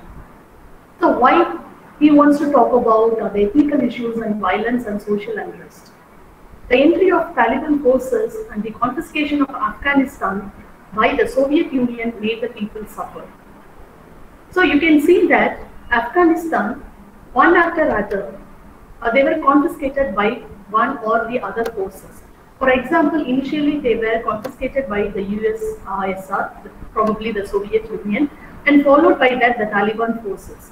So not even a single day they are happy, and not even a single day they are rest. So we can see the political unrest is uh, prevailing throughout every day in their land. So it is not only the case of Afghanistan, but in any border for that land, you can see that they are indicted by several factors like caste, religion, economic class, global power, political goal, and other factors. So who are refugees? Because uh, this novel in particular, it comes under uh, a refugee literature, I can see. So first, let, let us see uh, who are refugees. Because when we talk about uh, diaspora, I think there is a difference between this diaspora and refugee. Diaspora people are not thrown out of their own land. Uh, maybe we can say in search of their, they are being migrated to some other land in search of job or maybe getting married and they lost their identity there. But that is not in the case of the refugees. The refugees are forcibly uh, displaced from their own uh, homeland. And what may be the reason? It may be war, conflicts, violence, and other political traumas. So, refugees, they always come from war-torn countries. One. And second one, I'm, I just, when I browse, I could see that there are few nations it listed under the refugee nations, Sri Lanka, Syria, Lebanon, Sudan, Afghanistan, and other countries. And um, the survey said that Syrian Arab Republic has more than 17% of people as refugees. And next to this Syrian land, we can see that Afghanistan has a large number of refugees. Refugee literature. So this refugee literature, it talks about the indecorous, violent and absurd living conditions of the people who are uh, uh, forced to flee from their own, own homeland and they are called as the irregular migrants. Even you can see the term is very different, irregular migrants. And uh, the literary workers of writers from the Indian subcontinent and its neighboring countries, we call it as refugee literature. And this refugee literature is documented in many national and regional languages. The purpose of this is to publish, publish in different language because the people throughout the world or the people across the globe, they need to understand what is happening in that country.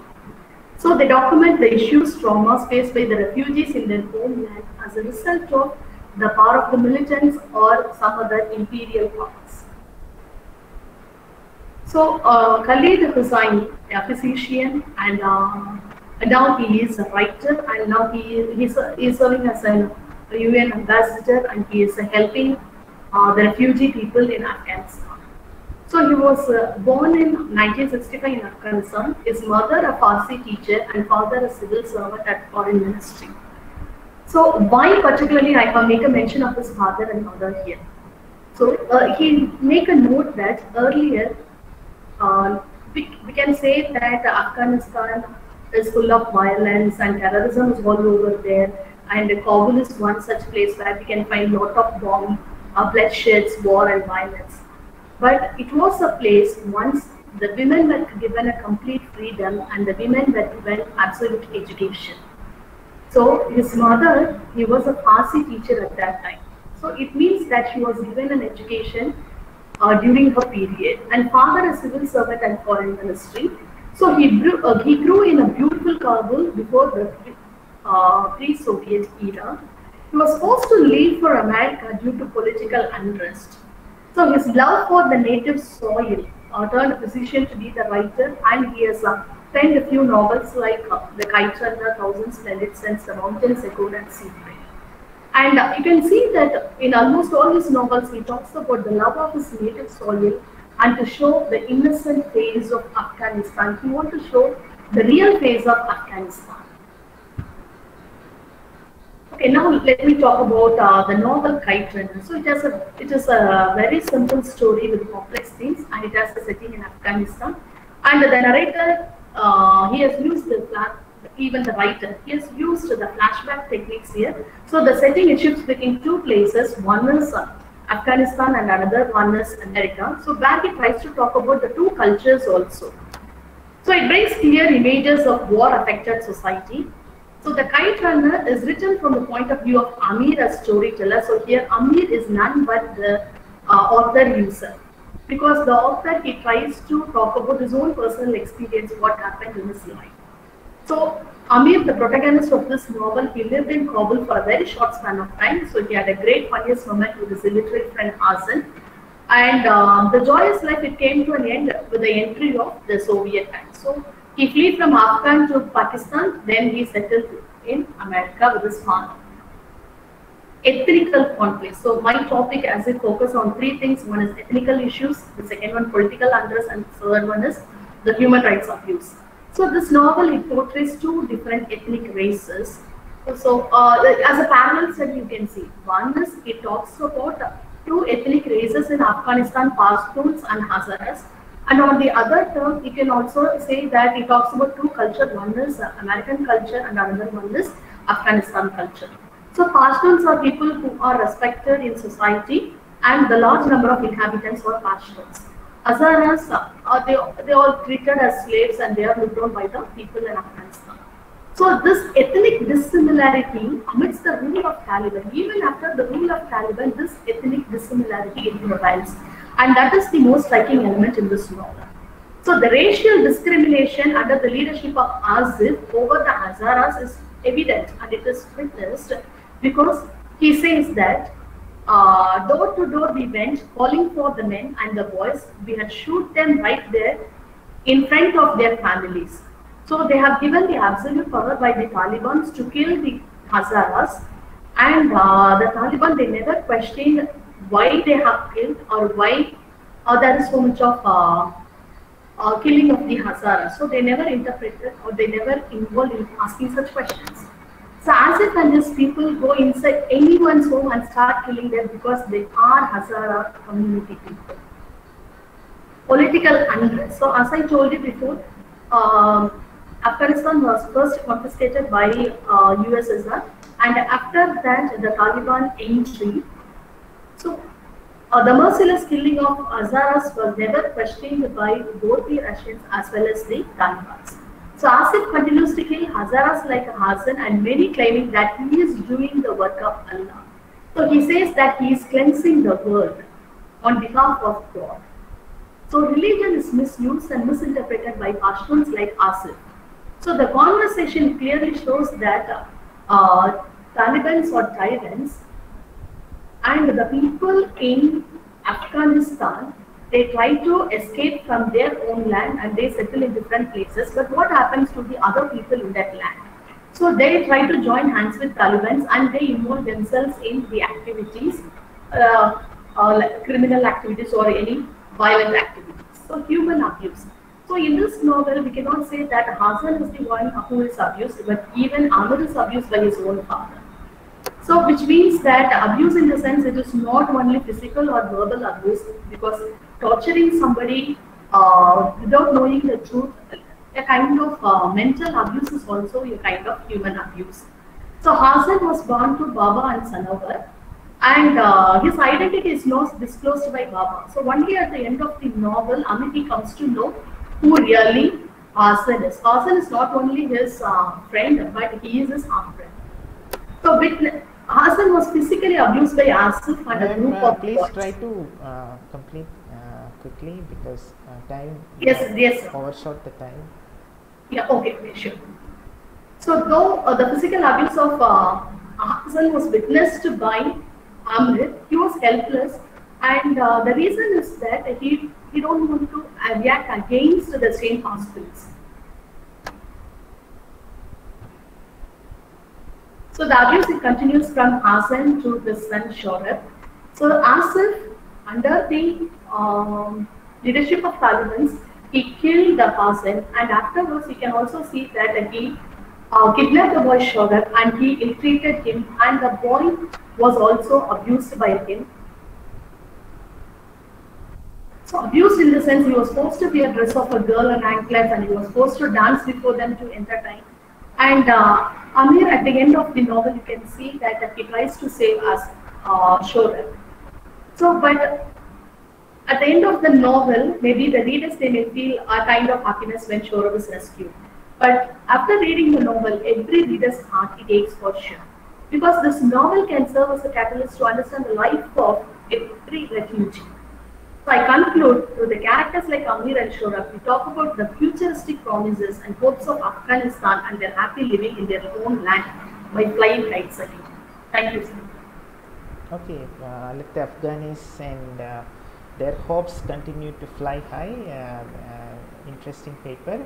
And uh, I just wanted to note something uh, for uh, not only regarding this paper but regarding most of the presentations, some minor mistakes that have crept into most of the, I mean, especially in PPT presentations, but I guess those mistakes are repeated in those papers as well. Not regarding this particular paper, I am saying.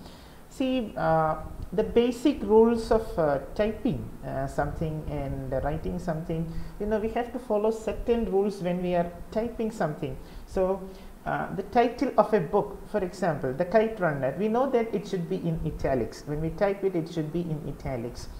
And it should not be in double quotes.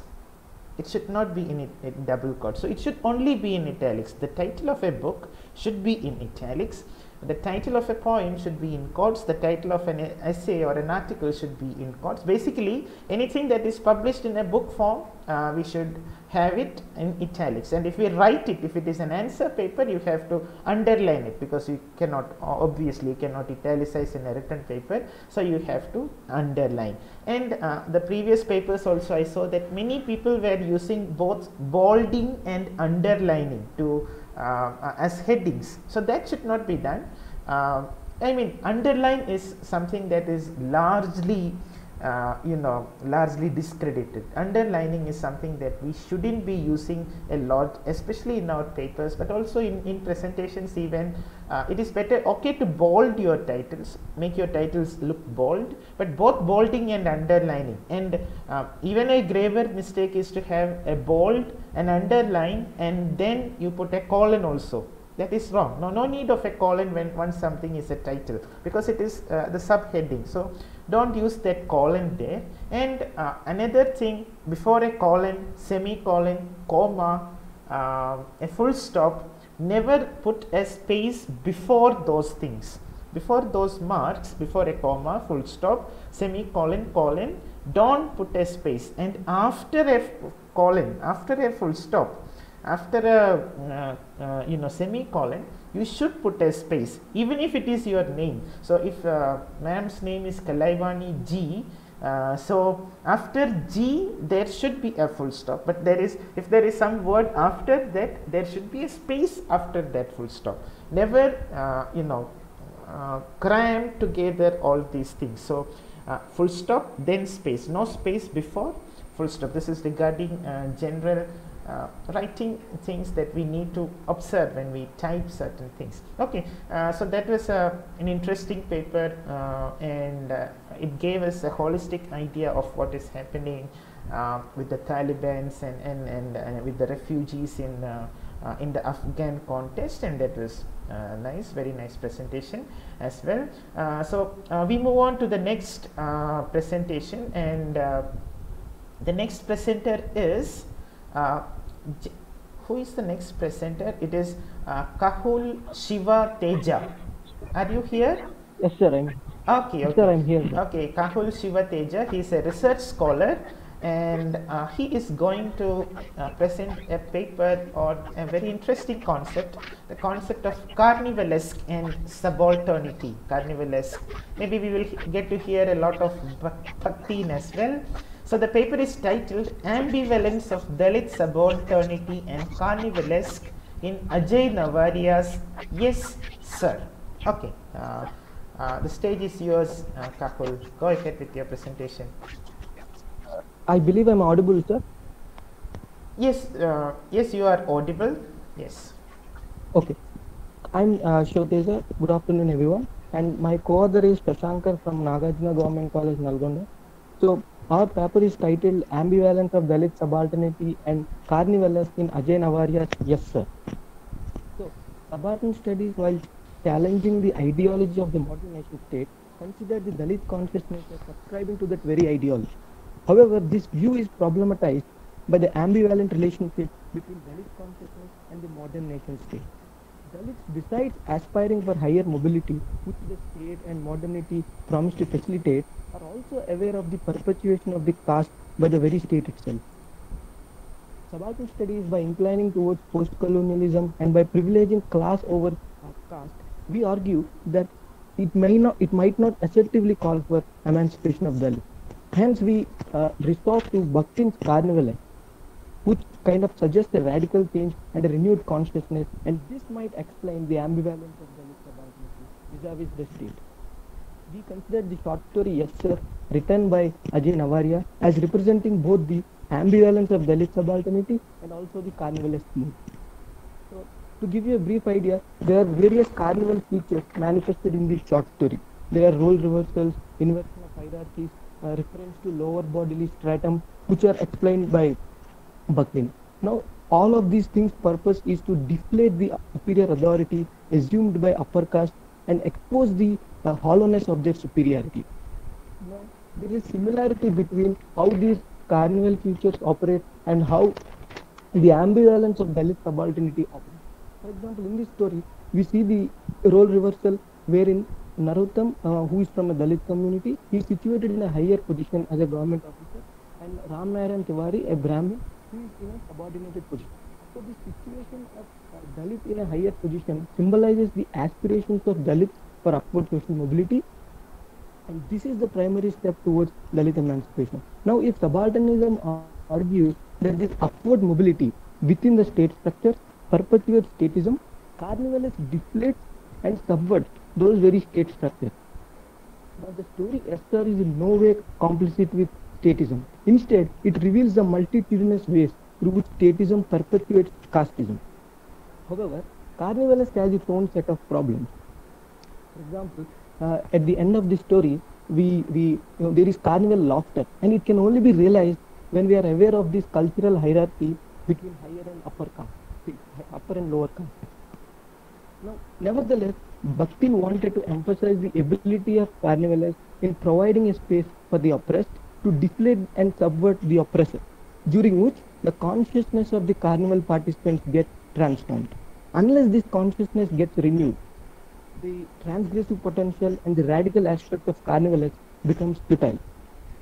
So hence, uh, in conclusion, uh, because I don't want to go into the details of the story, uh, we argue that, uh, as, as even Kalyan Das argued, the contribution of subaltern studies has been more than substantial in unearthing the hitherto unheard voices uh, and the methodologies it used to do this can be complemented by Dalit consciousness uh, so that the overarching goal of emancipation is. Okay, uh, that was a good paper, uh, well argued uh, paper. Uh, I haven't read the paper, but I, from whatever you presented, I can see that that is a, good paper. That is some very interesting uh, points. So, uh, since this is a co-authored paper, let me ask you, how did you divide the topic between yourselves, and what were the contributions of both of you? Oh, well, as part of my PhD research, I was looking for texts which Dalit texts which were uh, which had these features of carnival sir. Uh, so my co- co-author uh, actually suggested this story which had this uh, you know very uh, in a simple way and in a very extensive way we have this uh, carnival features manifested. Okay, so uh, when did you realize that you needed uh, some other theory other than subaltern to explain this uh, theory, uh, this- explain this work? Because uh, there is a point when uh, you were, there was a point when you were analyzing the novel based on uh, subalternity, the, the Dalit uh, literature and stuff. And then the, there came a point when you realized that you needed also carnivalesque. What was that a point of realization when you needed something else to? because yeah. because I have uh, mentioned that uh, subalternism has leaning toward uh, uh, post-colonialism where it tries to celebrate differences. And and it also privileges class over uh, caste. So it is a uh, you know, the older debate between Dalitism and Marxism, where they argue that Marxists have failed in privileging caste over class. So in that way, what what we try to do is maybe carnivalesque, uh, you know, try to solve this uh, solve this problem Okay, okay. because it, it, it interchanges positions. Uh, it, it doesn't. Uh, it, it equalizes everyone who participates in the process. Okay, so you felt that uh, would solve some of the problems that you faced in uh, Yeah. interpreting the work using subaltern studies. Okay, uh, that makes sense. Yes, yeah, yeah, that, that, that's good. Uh, okay, that was a good paper. Uh, well done um, to both of you uh, for making such a, a good presentation. I hope to read the paper. I don't know when or if I will be able, if this paper will be shared. If I, if it is, I will read the paper. It's a good paper. Well, well done. Okay, so uh, Thank you for that presentation. And uh, now the next uh, paper presentation is by uh, Kanmani T. Uh, are you here, Kanmani? Yes, sir. I'm here. Okay, okay. So you are you you uh, Kanmani T G Kanmani T. Okay, she's an assistant T. professor, and um, okay, she she is going to tell us about victimization of gender conflict and identity crisis in Mahesh Dattani's Tara and Dance Like a Man. Okay, okay, Dance Like a Man. Okay, ma'am. Uh, please go ahead Yes, with your um, presentation. Good afternoon, sir. Good afternoon, one and all present here. Uh, first of all, uh, I extend my uh, happy thanks to the organizing committee of JP College for uh, giving such a wonderful opportunity to present before you all. Uh, let me open my slideshow, please. Hope I'm audible. Yes, you are. You are audible and visible. Hi, Presentation yes. hasn't come on screen. Yes, sir. Okay, now the presentation Yes, has yes, come on screen. Yes. Okay, go ahead. Yes, thank you. Okay. Um, so myself, uh, Kanmani, I am assistant professor from Saltagal College. Uh, it's in Tirunelveli, and um, my topic is victimization of gender conflict and identity crisis in Mahesh Dattani's Tara and Dance Like a Man. Uh, sorry, sir, as it is in uh, this font, I cannot uh, italicize. It is already italicized, uh, and so I cannot italicize these things. And uh, my keywords are my main view is victimization, gender conflict, discrimination, identity, identity crisis, and patriarchal society. Uh, these are the words we used to hear uh, when we uh, came across the word victimization. Okay, uh, so gender conflict and identity crisis in this male-dominated patriarchal society, all those things comes under this feminist point of view. Uh, uh, let me deal de- deal with this. Okay, uh, so my my author is Mahesh Dattani. He was born on 7th August 1958, and I don't want to explain uh, many about him because uh, we have already known all those things. And uh, I just wanted to uh, uh, tell, tell you one point that he was the first playwright to be awarded the Sahitya Akademi Award, and so that is a specialty uh, for him. And he was influenced by two people, Edward Albee, who was uh, afraid of Virginia Woolf, as well as the Gujarati playwright Madhu Rye's uh, Kumarni Agashi. He was influenced by these two people. Okay, and uh, his works of uh, Mahesh Dattani, uh, Final Solution, Tara, and Dance Like a Man. And uh, my theme in this paper is gender discrimination and thirst for women's identity. That is identity crisis. That is. And my crux of the paper is gender discrimination, patriarchal domination, and uh, the rules and regulations to be only catered only by men and the women has to do on all those the household activities. And it looks like an old age where uh, women go for hunting and the women uh, sorry men have uh, go for hunting. And women have to look after the cave only and to look after the family. That is what uh, we are uh, looking this works. And uh, and we can also term as the active male participation and passive female participation. That is what i have given and uh, this is just okay. So Tara, it is an eponymous novel. As it is eponymous novel, we can know the main character or uh, the protagonist of the name of the protagonist becomes the name of the work. That is the economical work. And uh, in this book, the Tara and Chandan are identical twins, and Patel is the father of the two. And uh, they care about only the future of the male child and not about the female child. Uh, the Bharati's mother, Bharati is the mother of these two people, and his uh, her, her father gave uh, all their money uh, to Chandan as uh, he was uh, his only heir, and uh, not about and he does not care about Tara. And uh, but Tara is very intelligent and optimistic, but she was neglected by the male community as by her own father as well as her own grandfather. That is good. And she is a triple girl with pathetic situation, and she shows sympathy for others. They are Siamese twins. They have three legs. So I have also came across uh, news today morning uh, that a child was born with nine fingers in a, a single leg, in single leg. That was uh, that was a news I have came across. The, by the same thing, they were twins, but they have uh, three legs almost. The twins they should have four legs, you know, but they have three legs. And uh, the leg was transplanted to Chandan, but uh, the leg has to be transplanted to uh, Tara. She has a better chances for the survival, and uh, she uh, she has that uh, uh, all those uh, successful uh, thing. But the operation was unsuccessful, and uh, Chandan's body did not accept that leg, and they both had to depend on artificial leg. So what is given here is even though she had the chances for her survival or chances for the accepting that leg, but she was not given that opportunity, and she was denied for better chances of living. So this was given in this uh, that male domination, uh, how the male domination was given in this patriarchal society.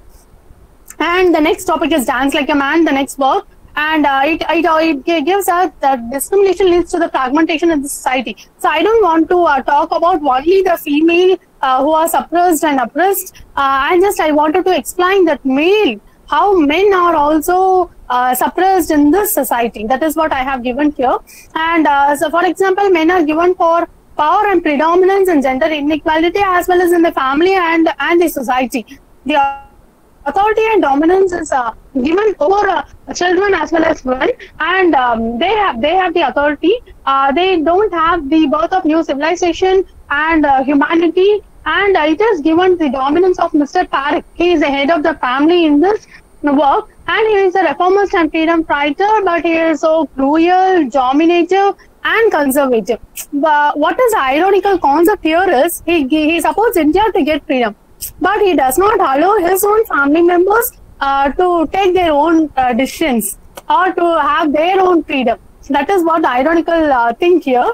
And uh, the Parekh's son is uh, Jairaj. Uh, he wants to become a Bharatanatyam dancer. So even though it is considered to be Bharatanatyam is considered to be the national uh, dance or uh, or uh, best dance uh, here, uh, he said that it is not the uh, Bharatanatyam. It is not fit for men. It is only for women and it is not for men.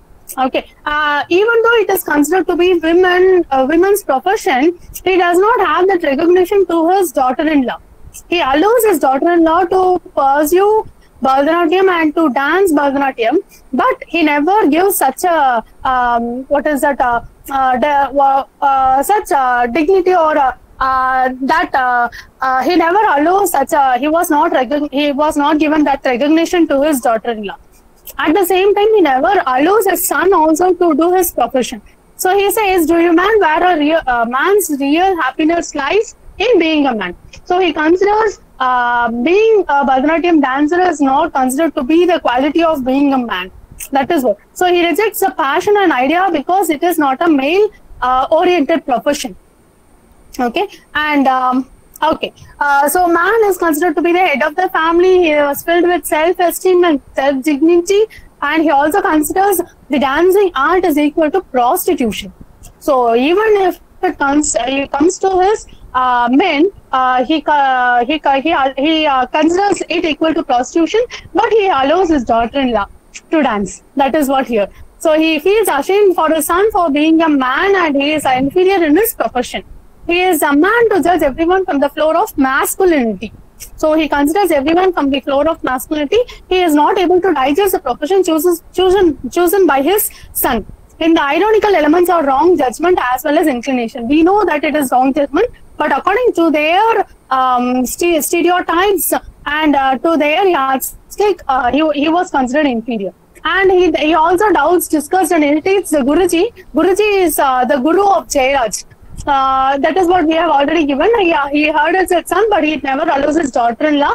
So that is what women are not equal, uh, uh, not treated equal, and not given uh, equal powers and position in Indian society. So the work ends with a painful reality. It gives the consequences of gender conflict that uh, Jairaj feels that he was fit for nothing. he is uh, he is worthless. Okay, and he quits the profession of dancing and feels worthless. And also, he never blames his father. He blames his wife for taking away his self possession because he, she was also a Bharatanatyam dancer, you know. So uh, she blames his wife for taking away his self possession, self esteem, respect, as well as confidence. And they throw, finding that uh, it uh, throws uh, spotlight on the painful conflict and realities about the victims of gender co- discrimination. And um, it also talks about the yardstick of gender in Indian society. And it also talks about the issues of uh, gender discrimination archetypes and the modernity in the tradition of India and the plight of the marginalized victims, even it is men or, or, or women. And uh, he, he is successfully uh, pres- uh, successful in presenting the gender inequality uh, as social evil which overwhelms the Indian society. So uh, finally, I used to conclude the work uh, that individuals should be treated based on their quality and capability and, and their skills and not on their gender basis. So even though it was men or women, uh, it is not considered uh, inferior. Any job is not considered inferior.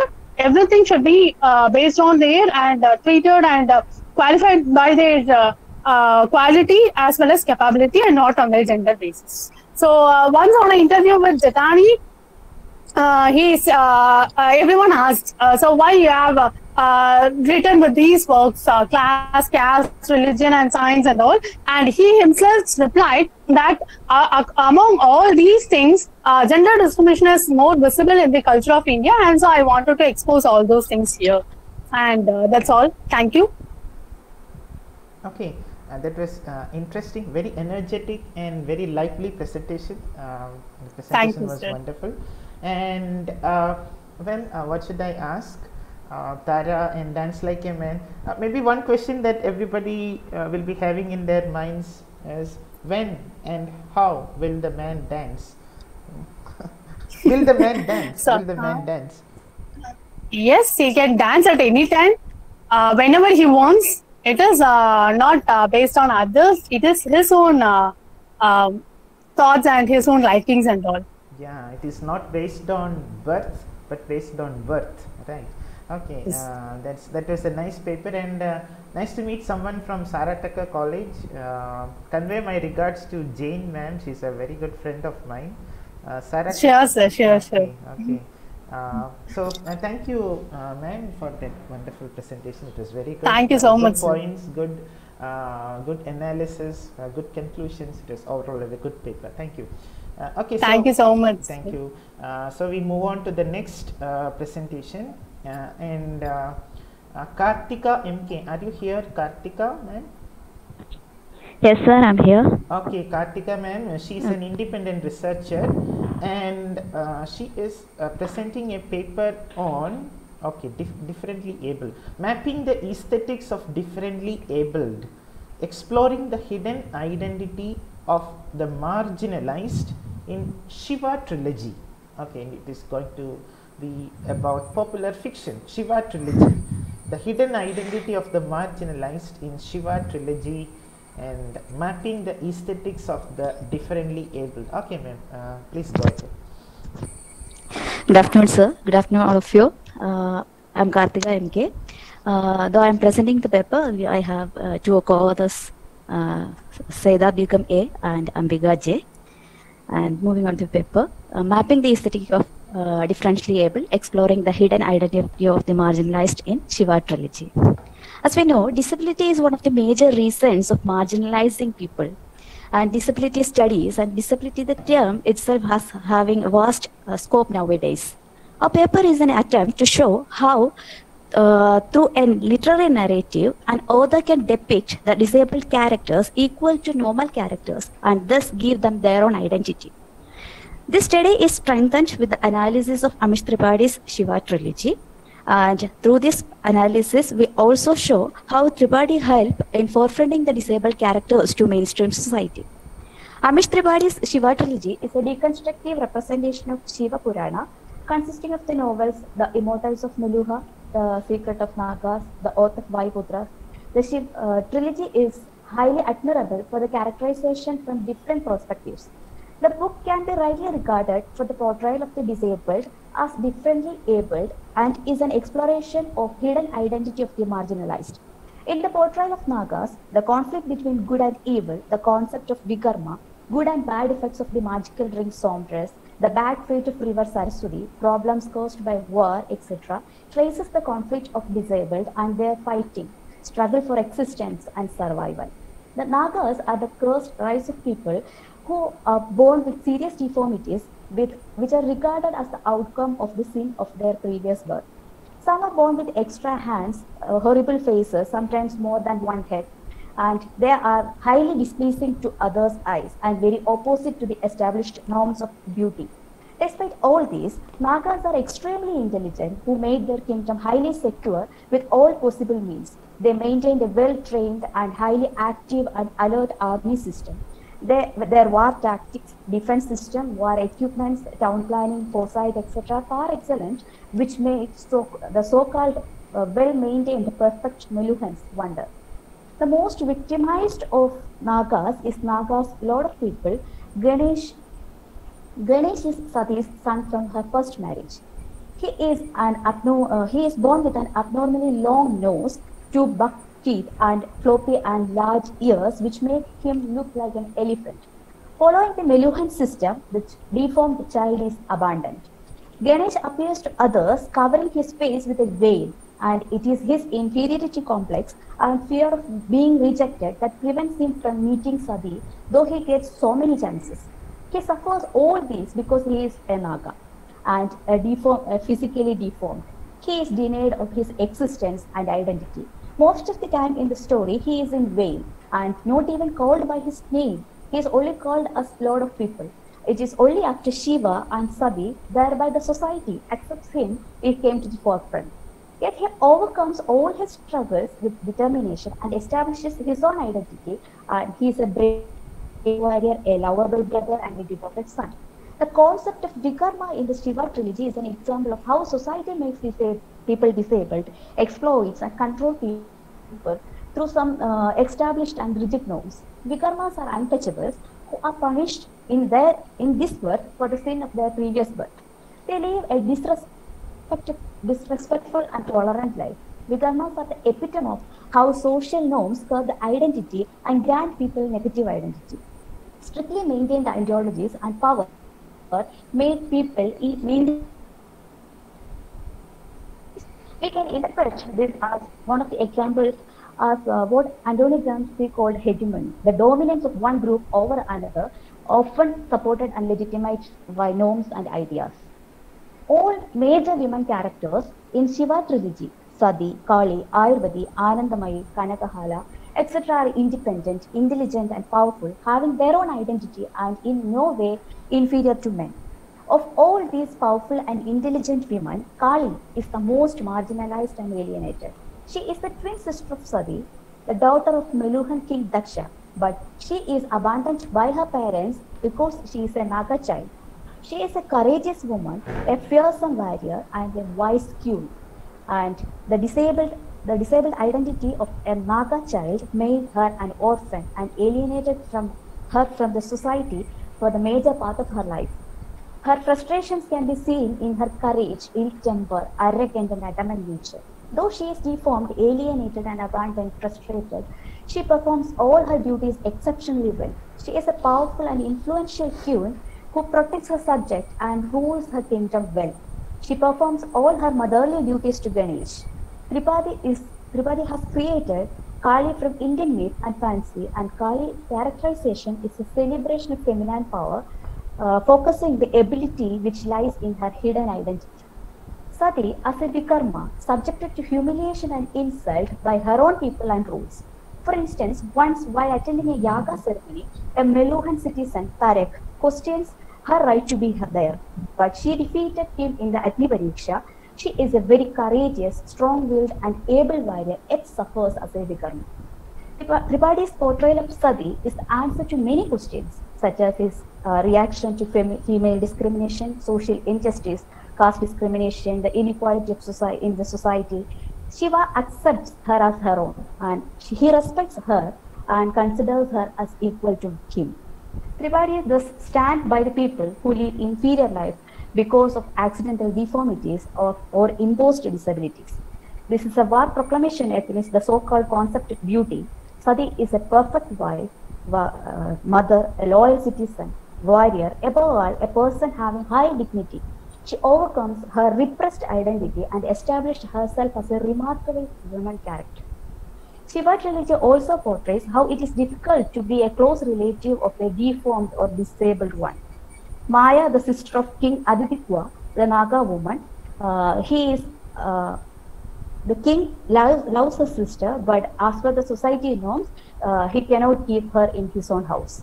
So it shows his mental agony. Like Nagas and Vikarmas, the Branga community is also a disabled group. They are disabled because of the magical drink of Meluhans, the Somras. They are uh, suffering from uh, disastrous diseases. The uh, Branga children are dying because of the uh, ill effects of Somras. And we can find traces of Shiva also became disabled in some circumstances. At some point, Shiva realizes the futility of war and leaves the place. He is the chief of Guna tribes and leaves uh, the place with his people. Shiva is brave, he can fight, but uh, he feels disabled when it comes to the life of his people. And after he gets recognized as Neelkanth, he again gets into confusion of being unable to differentiate between what is good and what is evil. And when it comes to the real world, though he is powerful, he suffers a lot even and eventually loses Sati. Amish Tripathi brilliantly raises his voice against social inequality through his Shiva trilogy.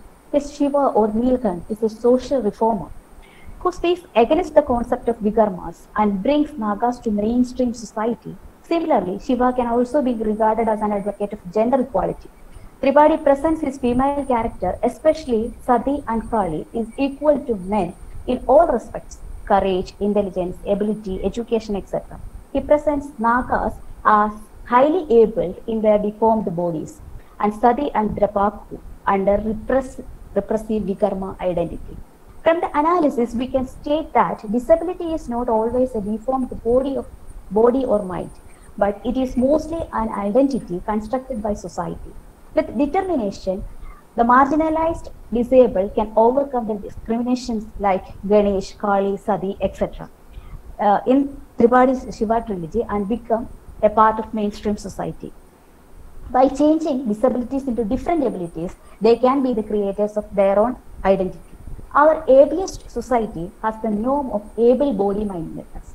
If one of the following norms, if one is not following the norm, one is expected to fix it to become an able body as possible. Robert McRuer, in his book Crip Theory, Science of Cultural Science of Queerness and Disability, explains the theory of compulsory able-bodiedness. For society, disability or disfi- disfigurement cannot be cured, and such bodies and minds should be hidden away from public view. McRuer says that compulsory able-bodiedness is a system in which there is no choice. It builds the notion that normalcy is everything and assumes that everybody should be able-bodied minded. What, no one wants to be disabled. The condition of nagas, vikarmas can be rightly incorporated with the concept of compulsory able-bodiedness. They suffer because of the society because the Please, society please, cannot bear wind their up, you are run, uh, we are running. uh, yes, sir. Yes, sir. It's they suffered because society cannot bear their looks and accept as them as their own. No matter how they able they are, it is their looks and deformed organs that matters to the society. Living in an era of uh, technology and post-humanism, we need to uplift the disabled people to mainstream society. This concept is clear in the motto of International Day of Disabled, which was celebrated on 3rd, uh, December 3rd, 2020, building back better towards inclusive, accessible, and sustained post-COVID-19 world by, for, and with persons with disabilities. UNESCO is also organizing a global awareness campaign, Tell Our Stories, Enable Our Rights. When we assume the rights of rights and identity of persons with disabilities and stand by them, they can act and be, live their life in their own way. They can perform their disabilities and play their own role in society more efficiently. Let's hope for a future that is free from the rigid norms of disability, where we can wonder, as Miranda in Shakespeare's Tempest says, how beauteous mankind is, oh broke new world that has such people in it. Thank you. Thank you for it. Okay, uh, brave new world of Miranda. Okay, so uh, see, uh, it's it's it's kind of strange, right? Uh, because uh, in our ancient uh, epics and myths, people with disabilities were not considered people with disabilities, but heroes.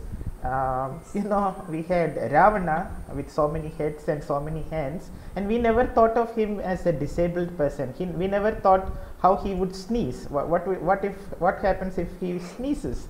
Uh, we never thought, uh, you know, for example, Karta Vidyarjuna, I think that is his name. He had hundred thousand hands. Uh, Brahm- Brahma, Lord Brahma. Uh, then we have uh, Lord Ganesha. So we don't, we never considered them as differently abled or disabled or anything, but as great heroes.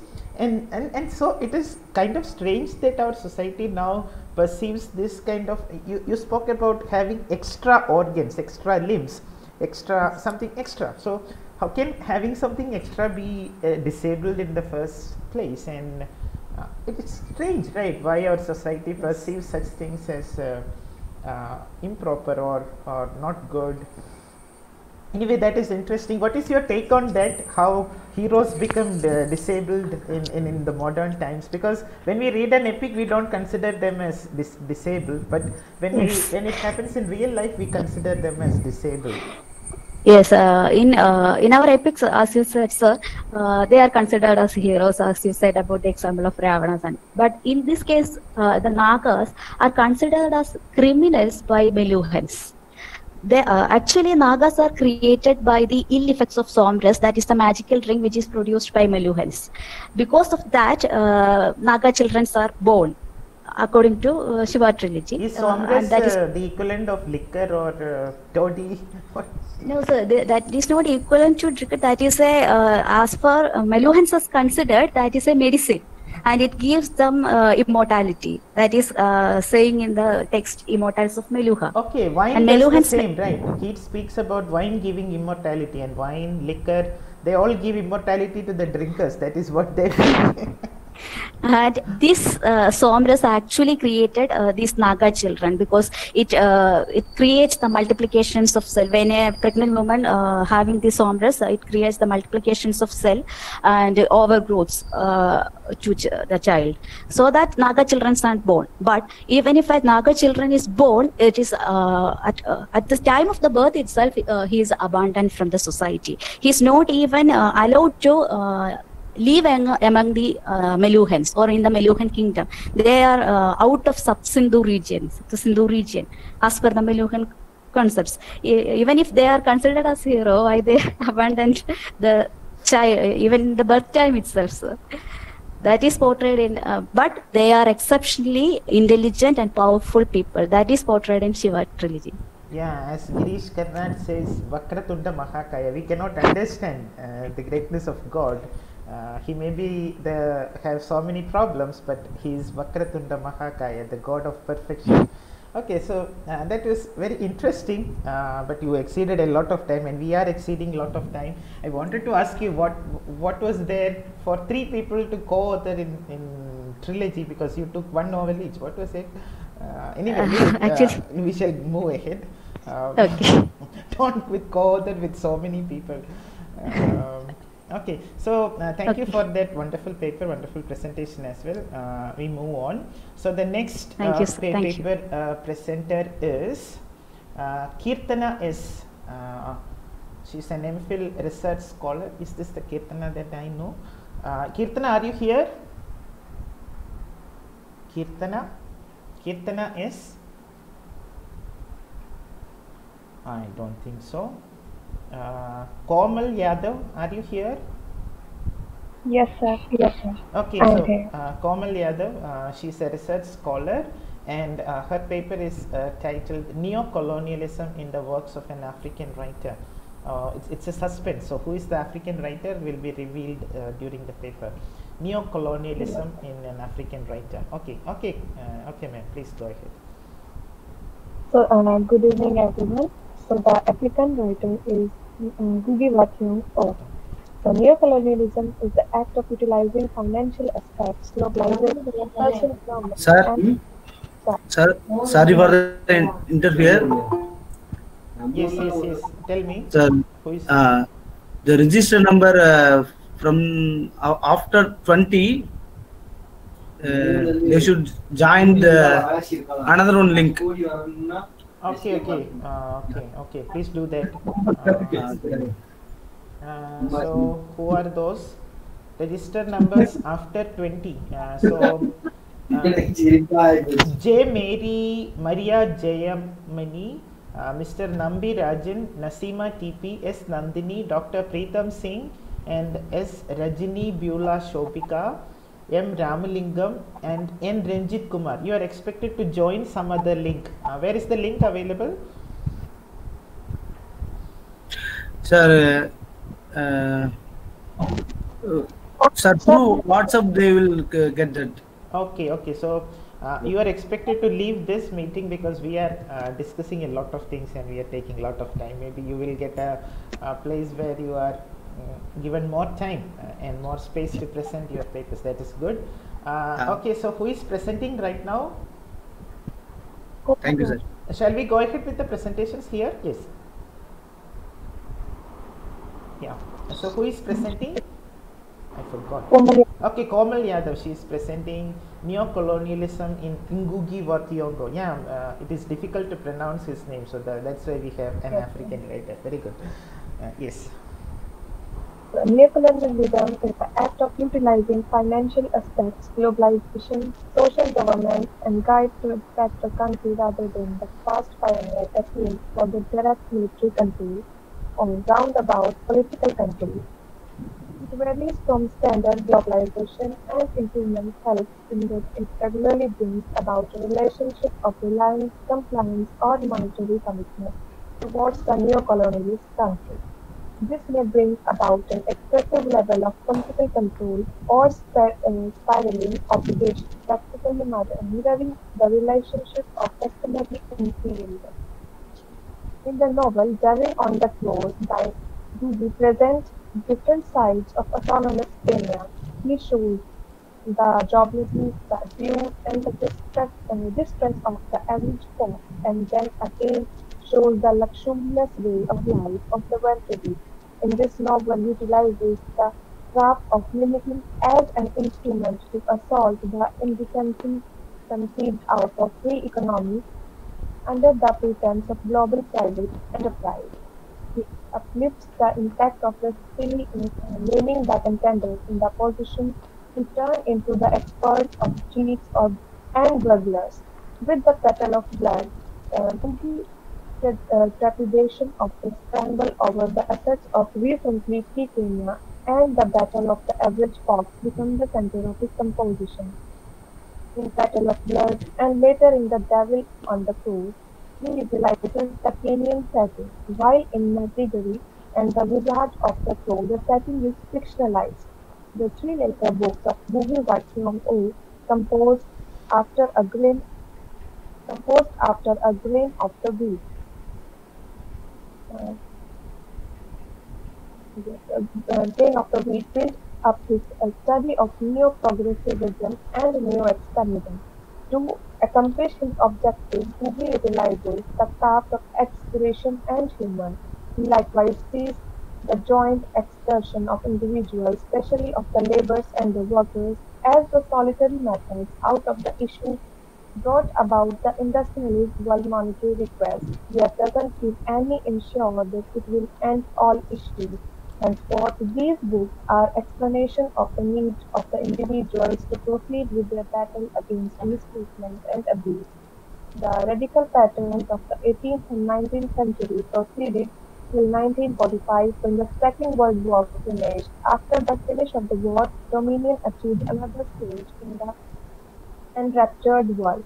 During the uh, post-war time frame, however, the pagan nations like Africa and Asia and many others accomplished autonomy to then liberate themselves from the remorseless grips of neo-imperialism.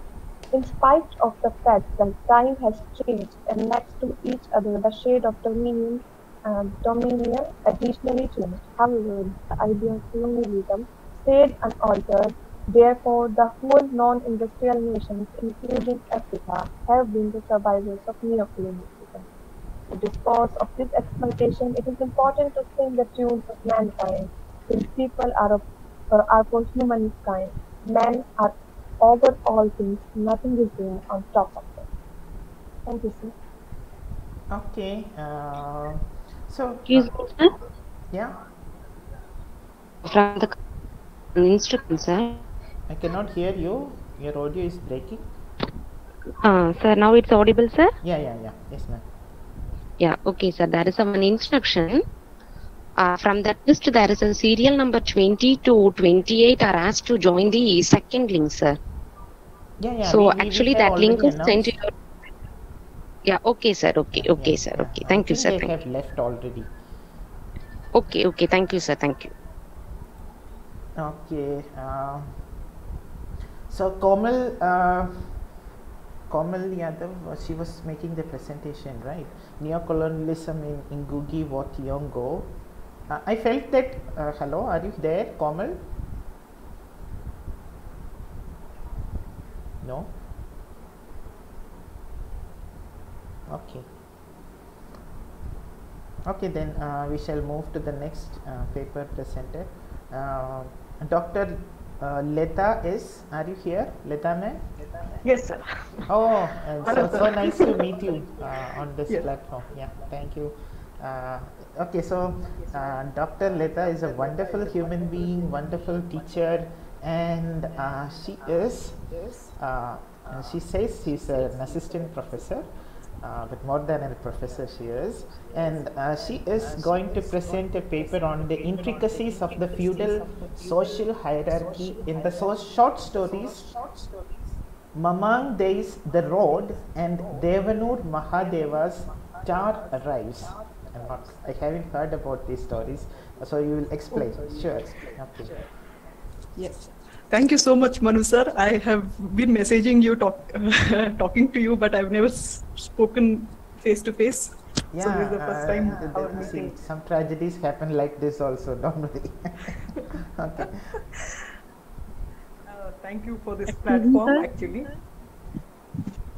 Yes. Excuse me, sir. Yeah, yeah. Mandi. Sir, I have a need to stay here. What? I have a need to stay here in this group because my number is 20.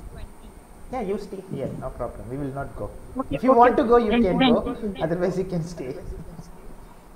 Okay, no problem, sir. Thank you. I will stay here. Okay. That is it. Yeah. Later, ma'am, you can continue. Yes. Uh, I have dealt with these two st- short stories, which is completely different uh, uh, uh, in the terms that they are set in different places. One is in the northeast, Arunachal Pradesh. The other one is in south, that is Karnataka. Uh, the two writers belong to different places, but most of it that the writers bring in these two stories seems same, and that is how I connected. And I've been teaching this in the my PG in the in my UG classes, so I have chosen this to uh, a comparative study uh, to explain to bring out how changes are inevitable and how to adapt to these changes in that context i have tried to explain because those two stories deal with the village system uh, where the feudal hierarchy was more prominent in these two uh, places. Uh, i will just present my uh, slides though, though there is not much uh, in the slide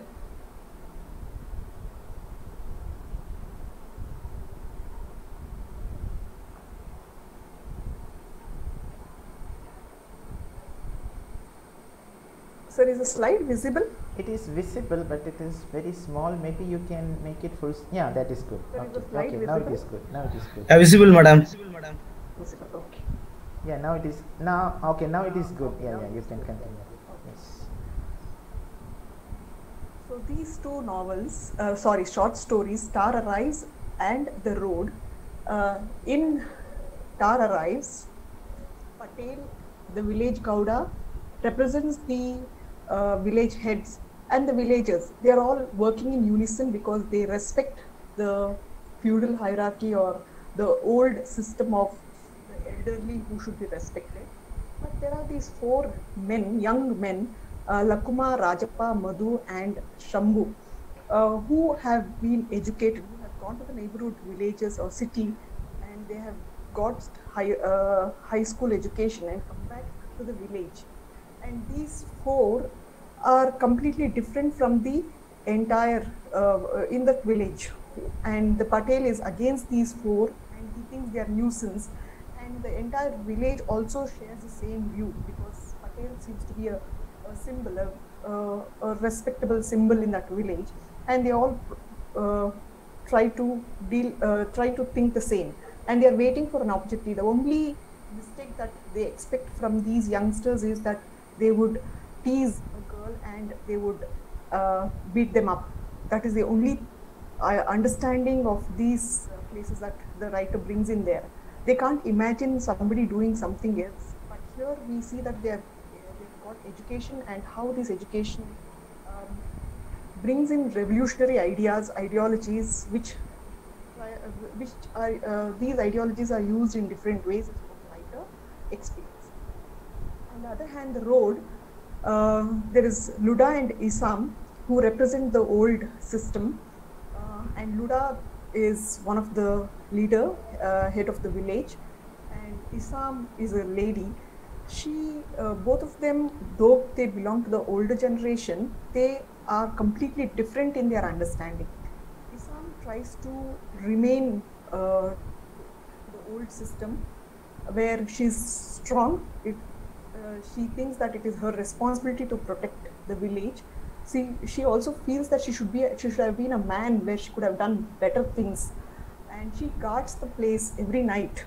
Uh, but in spite of it, there is uh, there is uh, robbery uh, in the village, uh, which is unheard, uh, uh, which cannot be digested uh, by the villagers.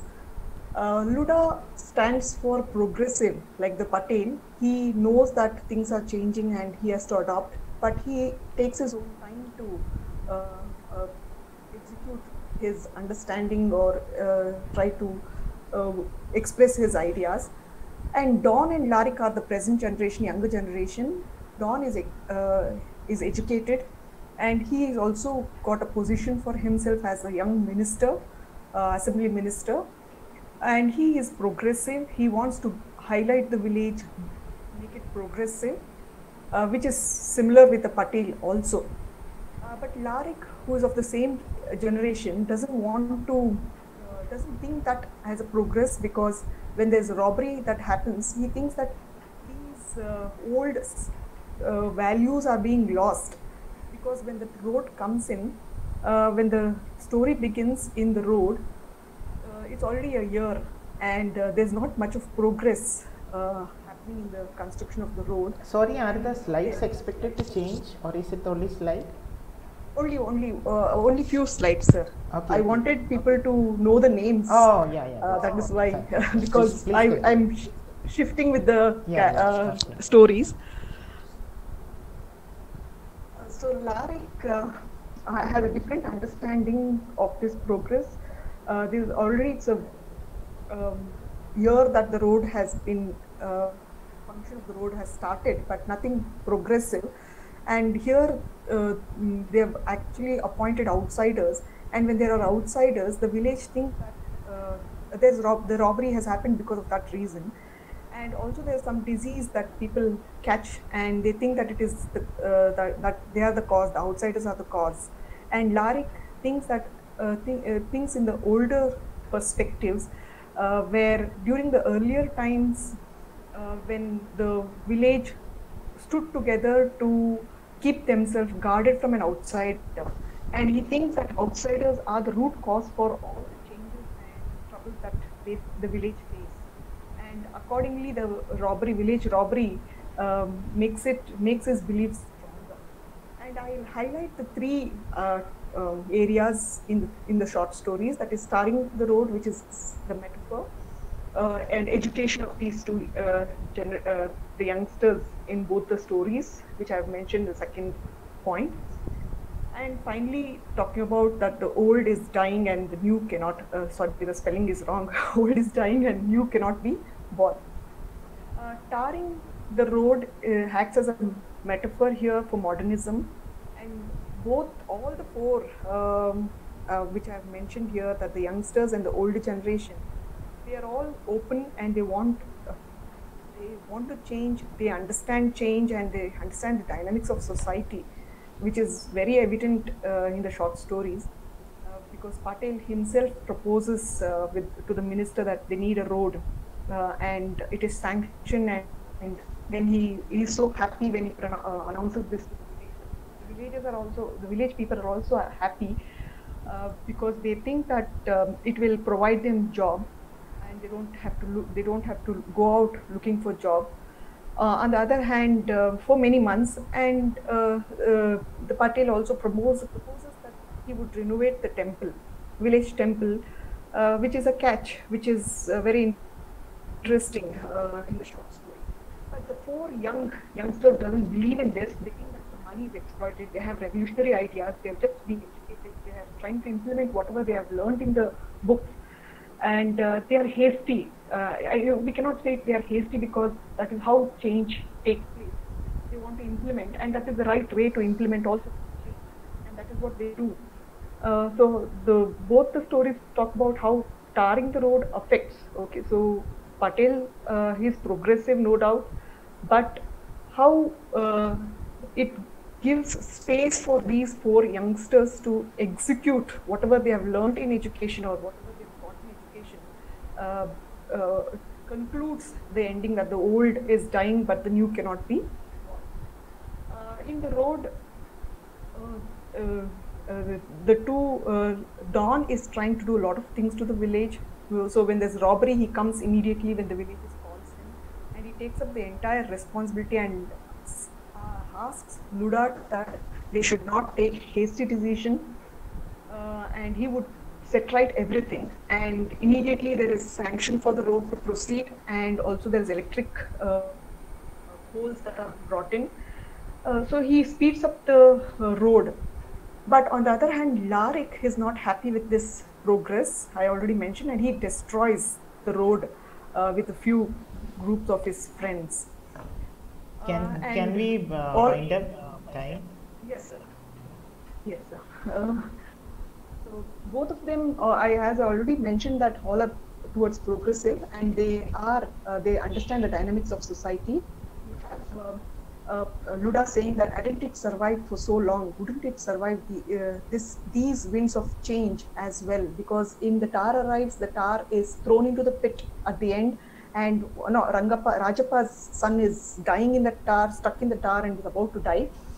Um, uh, the, both the stories ends in tragedy, and here in the road, the road is completely destroyed, and Don doesn't want to come back to the village, and he is concentrating on other villages because it is hampering his uh, uh, his dignity or, or his name. It's spoiling his name.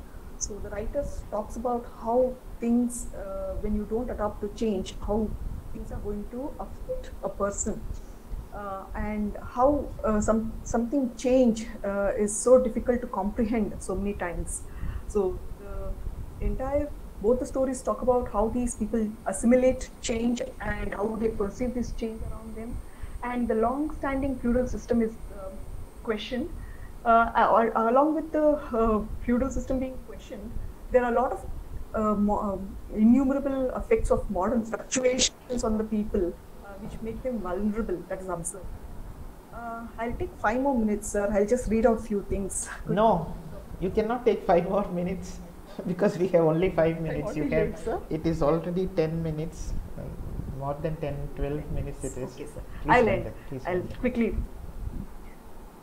Uh, so the village Gau- Gauda and the Patel, Hishan and Luda represents um, uh, the old system and they think that Chavdi or the Kib- Kibang, which is the place where they take decisions, uh, solve problems, which are very impo- important and they take their own ways. But with education's new policies by the government, people of the village other places are educating, they're exposed to the global world and they don't, they, they have no time to wait for the Chavdi or Kibang uh, uh, to assemble there and wait for their decisions, which the earlier generation did. Um, and before they did anything, the younger generation reacted, and that is mentioned through Lakuma, Rajapam, uh, uh, Madhu, and Don and Larik. Uh, dawn is progressive, though it is mentioned in the uh, story, but we know that it has its own demerits as the use of mobile phones today. Uh, the de- description of the village, the next uh, slide is very important. I will not be able to read. The first part speaks about the road. Uh, the description of the road, the landscape is brought out in the, both the text and uh, what happens to this landscape after the road uh, was sanctioned is also brought in.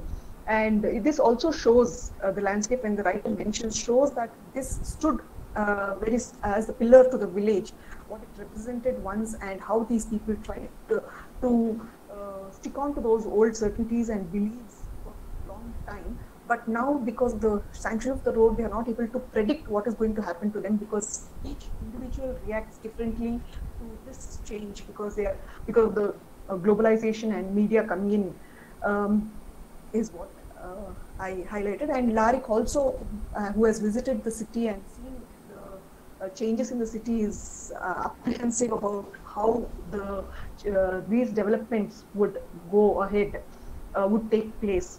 And though he, uh, Larik, towards the end in the story, says that the bridge is breaking, uh, which is metaphorical, and here it is not the construction of the bridge, but it is the construction of, uh, it is a gap that needs to be uh, constructed, is what uh, both the stories uh, sh- shares.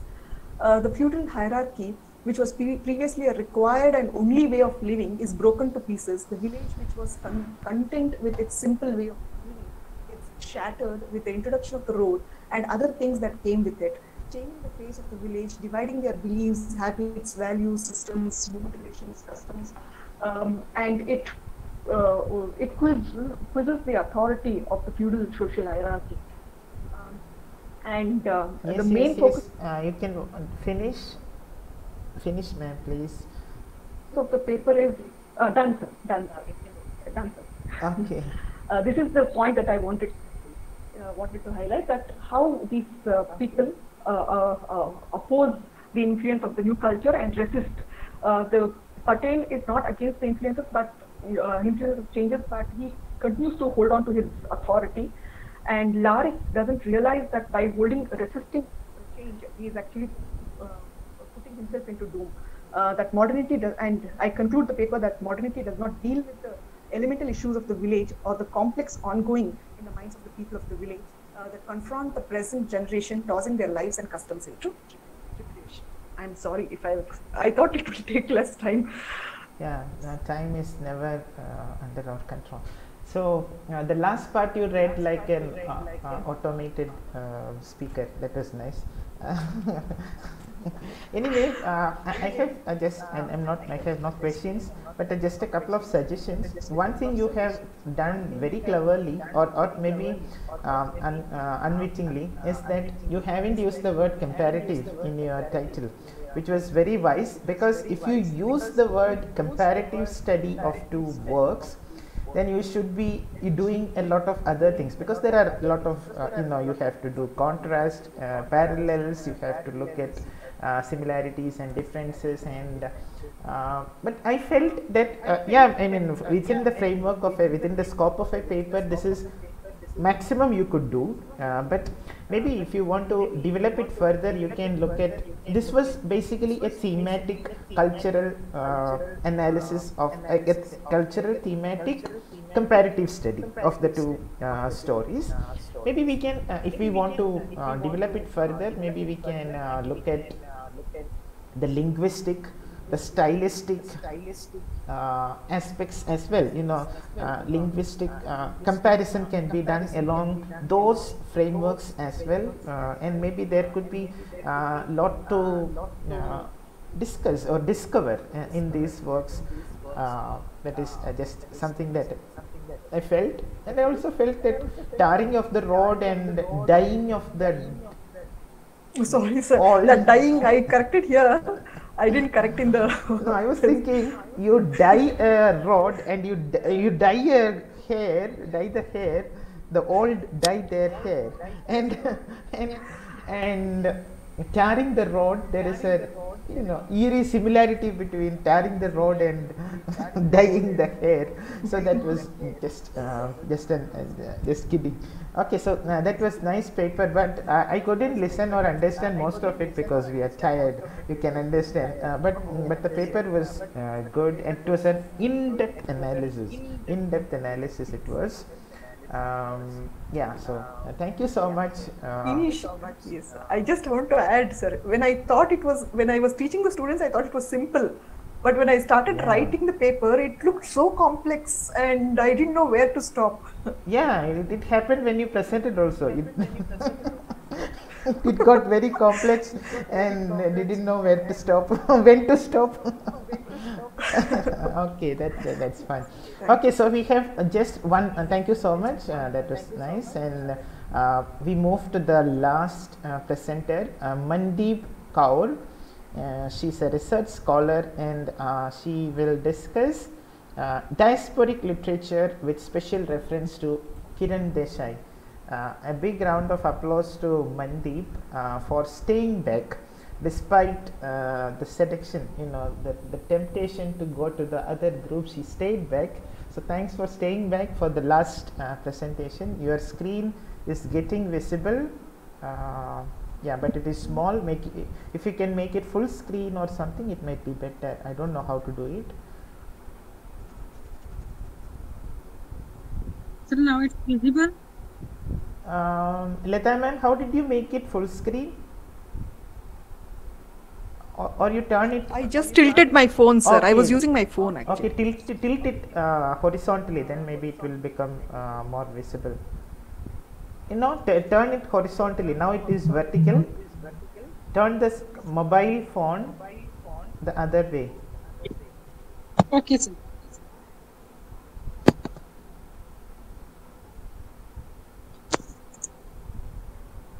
So now it's visible. It is visible, but it is very small. Is the phone not rotating? Uh, turn rotation on. Uh, the screen the screen is still ver- vertical. Make it horizontal.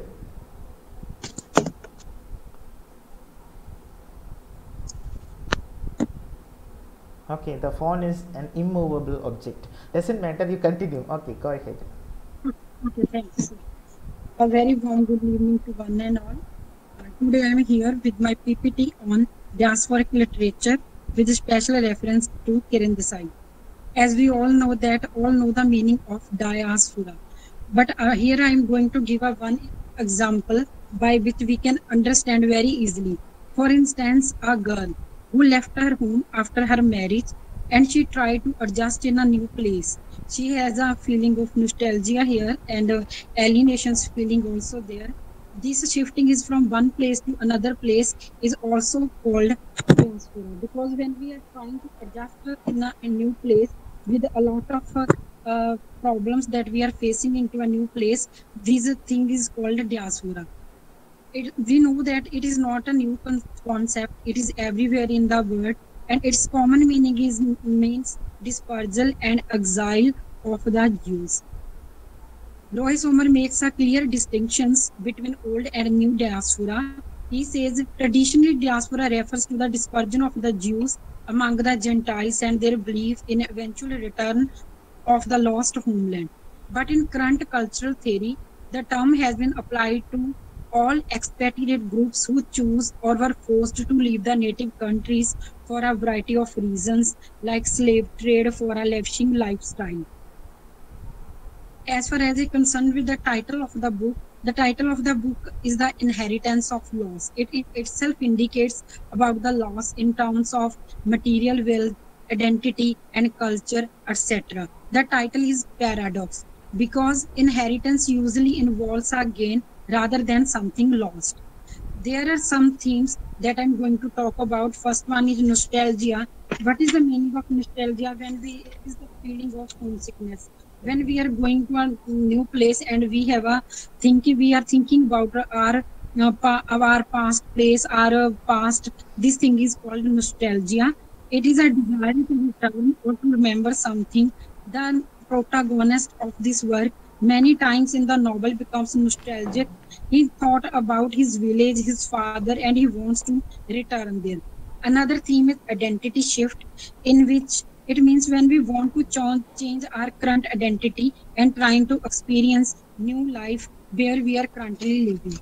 And alienation is another theme in which we have some people who are migrated from one place to another. They are thrice alienated. Firstly, they are alienated from their native land and they are alienated from their children and they are alienated to a new country and the and the native land which they left behind culture clashes are also there that uh, is clearly shown in her work in which we can say a who migrate to another country where he faces many things and uh, he has a cultural clashes he say, he said that there is a, uh discrimination and racial prejudice with the people who are uh, migrated to a new country.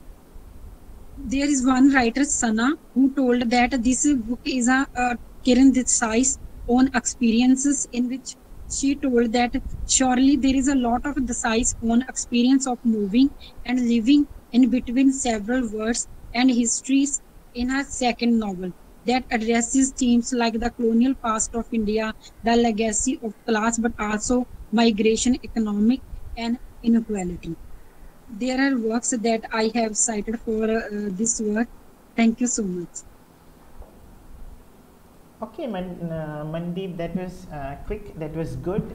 And uh, one, one good thing that you did uh, was to give the works cited list at the end. Uh, that was uh, nice because, yeah, some, sometimes most people forget to add that at the end, the reference at the end of the PPT. the ideas were well explained, though, though, though you didn't say much, I thought the paper was clear and, and, and whatever you tried to say uh, was explained uh, in clear words. Uh, the ideas were clear, and the presentation was yeah, the presentation was small, and, and the screen was small, and the presentation was also small, but small but beautiful. It was uh, well done, um, Mandeep man, and uh, so I think we have come to the end of our presentation.